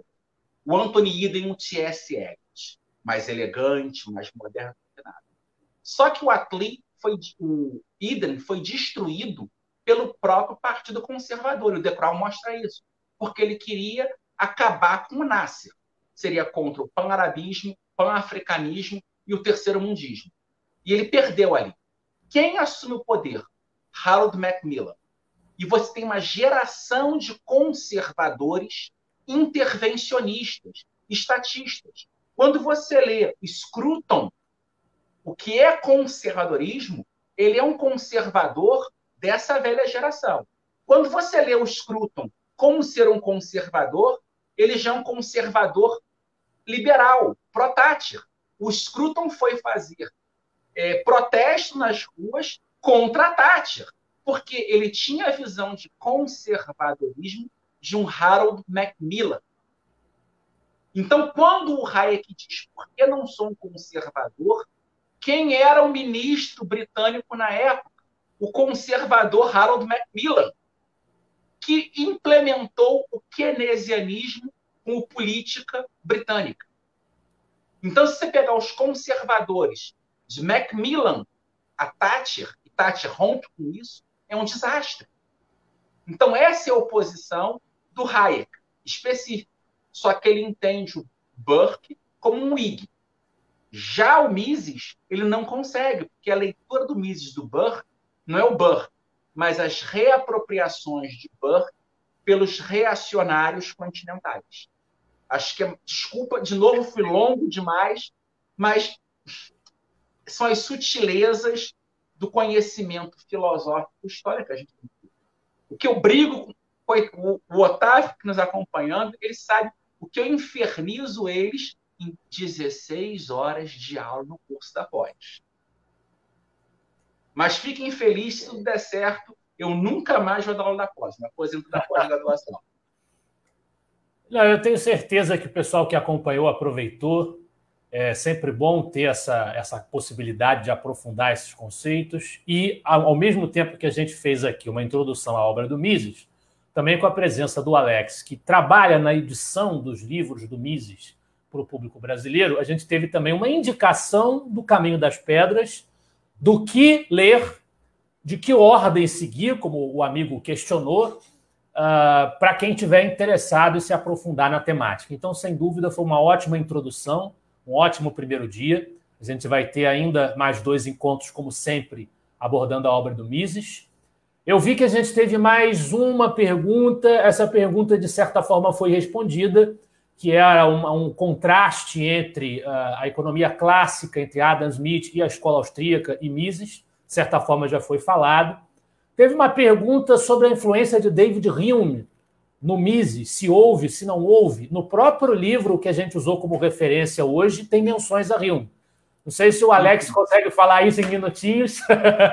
Vamos fazer o seguinte: Hume é um autor, outra tese que eu defendo, de que um dos grandes erros do Marx é não ter lido Hume. Eu defendo que Marx não leu Hume. Não há, eu, eu tenho mania de ver quantos autores são citados e quais são as citações. Eu encontro citações em Marx de Burke, de Bastiat, eu não encontro citações de Hume. A própria questão do Marx uma defesa que eu faço de Marx é que eu vejo que, em parte, o Marx acreditava que o capitalismo iria criar uma economia pós-escassez. Ou seja, a escassez ia acabar, não tendo escassez, não, há, não existem mais problemas de demanda, de oferta e de crescimento, tudo se resume à distribuição. O Hume ele deixa de ser lido no século XIX, isso é um fato. O Mises cita Hume, mas muita literatura do Mises do Hume se dá por intermédio de uma fonte secundária, Jeremy Bentham. De novo, o que eu falei, o artigo acadêmico tem que ser escrito. A influência de Bentham e Mises e a rejeição de Mises do Stuart Mill e a influência de Mill no Hayek e a rejeição do eh, Bentham pelo Hayek você vai encontrar muitas diferenças entre o liberalismo hayekiano e o misesiano nessas diferenças, como eles lidam com os dois autores. Só que o Hume é um autor que influencia o Mises, mas nem tanto. O Mises, ele é, se eu fosse classificá-lo filosoficamente, ele não é um Humeano. O Hayek é. O Mises seria, em essência, um kantiano. Existem ecos de Hume no pensamento do Mises, assim como existem ecos de Kant no pensamento de Hayek, só que Hayek está muito mais próximo de Hume do que o Mises estava. Acho que não sei se eu consegui responder tudo. Isso é até para uma hora de palestra. A gente tinha que voltar ao tratar. Nós teríamos que voltar ao ensaio acerca dos, dos fundamentos da moral do Hume, para explicar esse problema da escassez da economia e como isso toca em Hayek, e no ceticismo também. Pessoal, em nome do Instituto Liberal, eu quero agradecer todos que nos acompanharam, que prestigiaram, que fizeram perguntas. Lembrando a vocês que uh, nós vamos colocar o link de inscrição para obtenção do certificado desse mês ainda nos nossos eventos, nos nossos espaços de divulgação. A pessoa que fez a pergunta disse que está satisfeita com a resposta. Então, só para você saber, você respondeu. E eu passo a palavra para o Tiago fazer a sua despedida. Pessoal, mais uma vez, é uma honra receber o professor Alex e recebê-los aqui. A gente está. Já disse isso hoje, mas é, é, é, muito gratificante ver que a gente tem consolidado tanto um, uma base de pessoas que acompanham a gente mês a mês, e sempre tem alguém novo sempre tem alguém que fala que, tá, que começou a acompanhar. O Otávio, acho que ele colocou no chat, estava começando a acompanhar. É, então, isso é muito legal. É, sigam a gente nas redes sociais, Instituto Liberal, Professor Alex, Grupo de Estudos Dragão do Mar. A gente divulga todos os eventos lá, arroba Dragão do Mar no, no Instagram.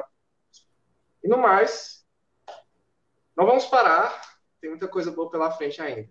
Muito obrigado. Tiago, eu acho que alguém perguntou sobre os eventos do Dragão do Mar eh, em circunstâncias normais, quando não há pandemia. Como é que o Dragão do Mar opera? Pronto. O Dragão do Mar, é, ele realmente não está realizando eventos presenciais no momento, mas antes da pandemia realizava sim. É, e a gente quer voltar ao, logo quando for possível. Para quem não sabe, o Dragão é um, um grupo que é sediado em Fortaleza. Nós geralmente realizamos nossos eventos, realizamos nossos eventos na Faculdade de Direito da Universidade Federal do Ceará, fica no centro da cidade, ou na FEAC, que é a Faculdade de Economia, Administração, Atuárias e Contabilidade, também da UFC, como tam, em outros locais pela cidade, mas geralmente nessas duas faculdades. Nossa, nós, todos os nossos eventos, sejam, é, sejam os eventos online ou eventos presenciais, todos são divulgados no nosso Instagram, que é arroba e no nosso Facebook, que é Grupo de Estudos Dragão do Mar. Muito obrigado. É, o Instituto Liberal também uh, há muitos anos não organizava eventos presenciais. Eu tive o prazer de realizar a primeira conferência do IEL em outubro uh, do ano passado. O Alex estava lá, inclusive.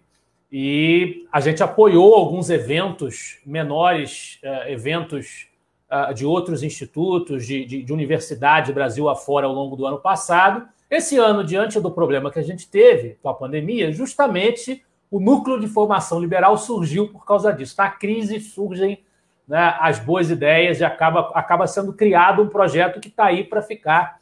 Assim, assim desejamos, assim faremos tudo para que seja. Alex, tua despedida. Bem, eu me despeço aqui, mais uma vez, fazendo uma homenagem aos meus finados mentores, Og Francisco Leme e Bretan Borges Macedo. É uma responsabilidade muito grande para mim. Por isso eu sempre aceito esses convites, porque eu brinco, até no meu pós-prefácio, o livro do professor Antônio Paim, História do Liberalismo Brasileiro, eu digo que eu não sou da nova direita. Eu só acho que o último é, suspiro da velha geração. E eu carrego sobre meus ombros esse peso de ter que levar essa responsabilidade adiante. E eu termino aqui com uma citação, aqui nessa edição, da página 213, quando Mises diz: Precisamos apenas substituir mais ideias por ideias melhores. A geração vindoura conseguirá fazer isso. Não apenas espero que assim seja, tenho mesmo muita confiança nesse futuro. Nossa civilização não está condenada, malgrado o que dizem Oswald Spengler e Arnold Toynbee. Nossa civilização não será dominada pelo espírito de Moscou. Nossa civilização sobreviverá e deve sobreviver. E sobreviverá respaldada em ideias melhores que aquelas que hoje governam a maior parte do mundo.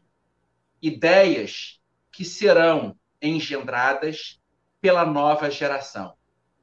Já considero um ótimo sinal o simples fato de que de hoje eu estar aqui, nesta grande cidade que é Buenos Aires, a convite deste centro, falando sobre a livre economia. Há 50 anos, ninguém no mundo ousava dizer uma palavra sequer em favor de uma economia livre. Hoje, em alguns dos países mais avançados do mundo, já temos instituições que são centros de propagação dessas ideias. Fecha aspas. Estamos aqui hoje, Dragão do Mar, Libercracia, Instituto Liberal, eu, de certo modo, representando Mises, defendendo essas ideias. É um avanço. Eu comecei quando isso tudo aqui era mato, em 91, tinha o IEL. Hoje são vários institutos. É a ideia do Hélio Beltrão de Estrela do Mar. As coisas acontecem sem um planejamento central, essa ordem espontânea. E é um prazer imenso ver essa nova geração. Em especial, belas moças, como a sublime Lígia Alcântara, que nos acompanha, as amigas dela, Débora, Rafaela, tantas outras. É um prazer imenso poder falar nesse, nessa ágora virtual para vocês. E essas ideias vão seguir, que são ideias corretas. Ideias têm consequências. Mais ideias, consequências nefastas. Boas ideias, grandes consequências. E o nosso compromisso com a nova geração é passar adiante tais ideias. Nós temos que saber usar esses novos espaços de comunicação o YouTube, o Facebook, o Instagram. Eu participei recentemente de um debate com o querido amigo Roberto Rachevski, juntamente com o Wagner Lenhar e o meu queridíssimo Marcel Van Hatt, discutindo liberalismo política. Uma coisa que foi feita pelo Roberto foi pegar pedaços dessas discussões e colocar no Instagram. Eu acho que minha sugestão a vocês, comecem a pegar não só essa palestra de hoje, esse debate de hoje, mas os anteriores, e fazer pequenos trechos deles no Instagram. Nós temos que comunicar tais ideias para um público cada vez maior, porque ideias têm consequências. E como dizia Mises, ideias, somente ideias, podem iluminar a escuridão. Eu agradeço a todos que me acompanharam aqui hoje Agradeço em especial ao Tiago e Lucas pelo convite. E mesmo eu sendo um editor, procurando ser um gambá, me fingindo de morto, escondidinho, eu não posso fazer isso porque eu tenho a Liz me cobrando de que eu tenho que falar. Então, o que eu puderem contar com a minha ajuda, eu estou aqui à disposição. Eu encerro, até porque o vinho encerrou, e aí sem combustível o carro não continua andando. Mas eu me ponho à disposição porque for preciso. Eu vou conversar com alguém que é oriundo do Dragão do Mar, a minha querida amiga Vitória Santos, que cuida do marketing da LVM. E eu vou pedir para a Vitória, eu sei que eu vou ganhar bro depois disso, eu quero doar para vocês sortearem de presente nesse encontro de hoje um exemplar do contexto histórico e quero um exemplar dessa edição do As Seis Lições e, por fim, um exemplar dessa edição de é, evolução histórica. Para o segundo encontro de vocês, eu quero que seja sorteado um exemplar dessa edição, Seis Lições, e um dessa edição de é, Mentalidade anticapitalista. Capitalista. E no encontro final de vocês, eu quero doar o intervencionismo, uma análise econômica, e o crítico ao intervencionismo. Até porque Mises escreveu sobre o marxismo desmascarado. E hoje nós vivemos num intervencionismo mascarado. Então nós temos que tirar as máscaras e defender a liberdade e a verdade. Porque ideias, somente ideias, poderão iluminar a escuridão. Obrigado a todos. Eu tenho certeza que falo pelo Libercracia e pelo Dragão quando agradeço a você e a LVM pela doação. Nosso público também certamente agradece, ficará animado na expectativa de tentar conquistar esses livros. Faremos os sorteios, continuemos conversando e uh, eu não poluirei as palavras do Mises com considerações adicionais. Em vez disso, que façamos por merecer, que hajamos uh, no interesse de fazer com que essas ideias sejam de fato difundidas, com que elas impactem a nossa realidade. E continuaremos a fazê-lo no próximo dia 21, o nosso segundo encontro do mês de setembro do Núcleo de Formação Liberal, ainda sobre a obra de Ludwig von Mises, com outro relator.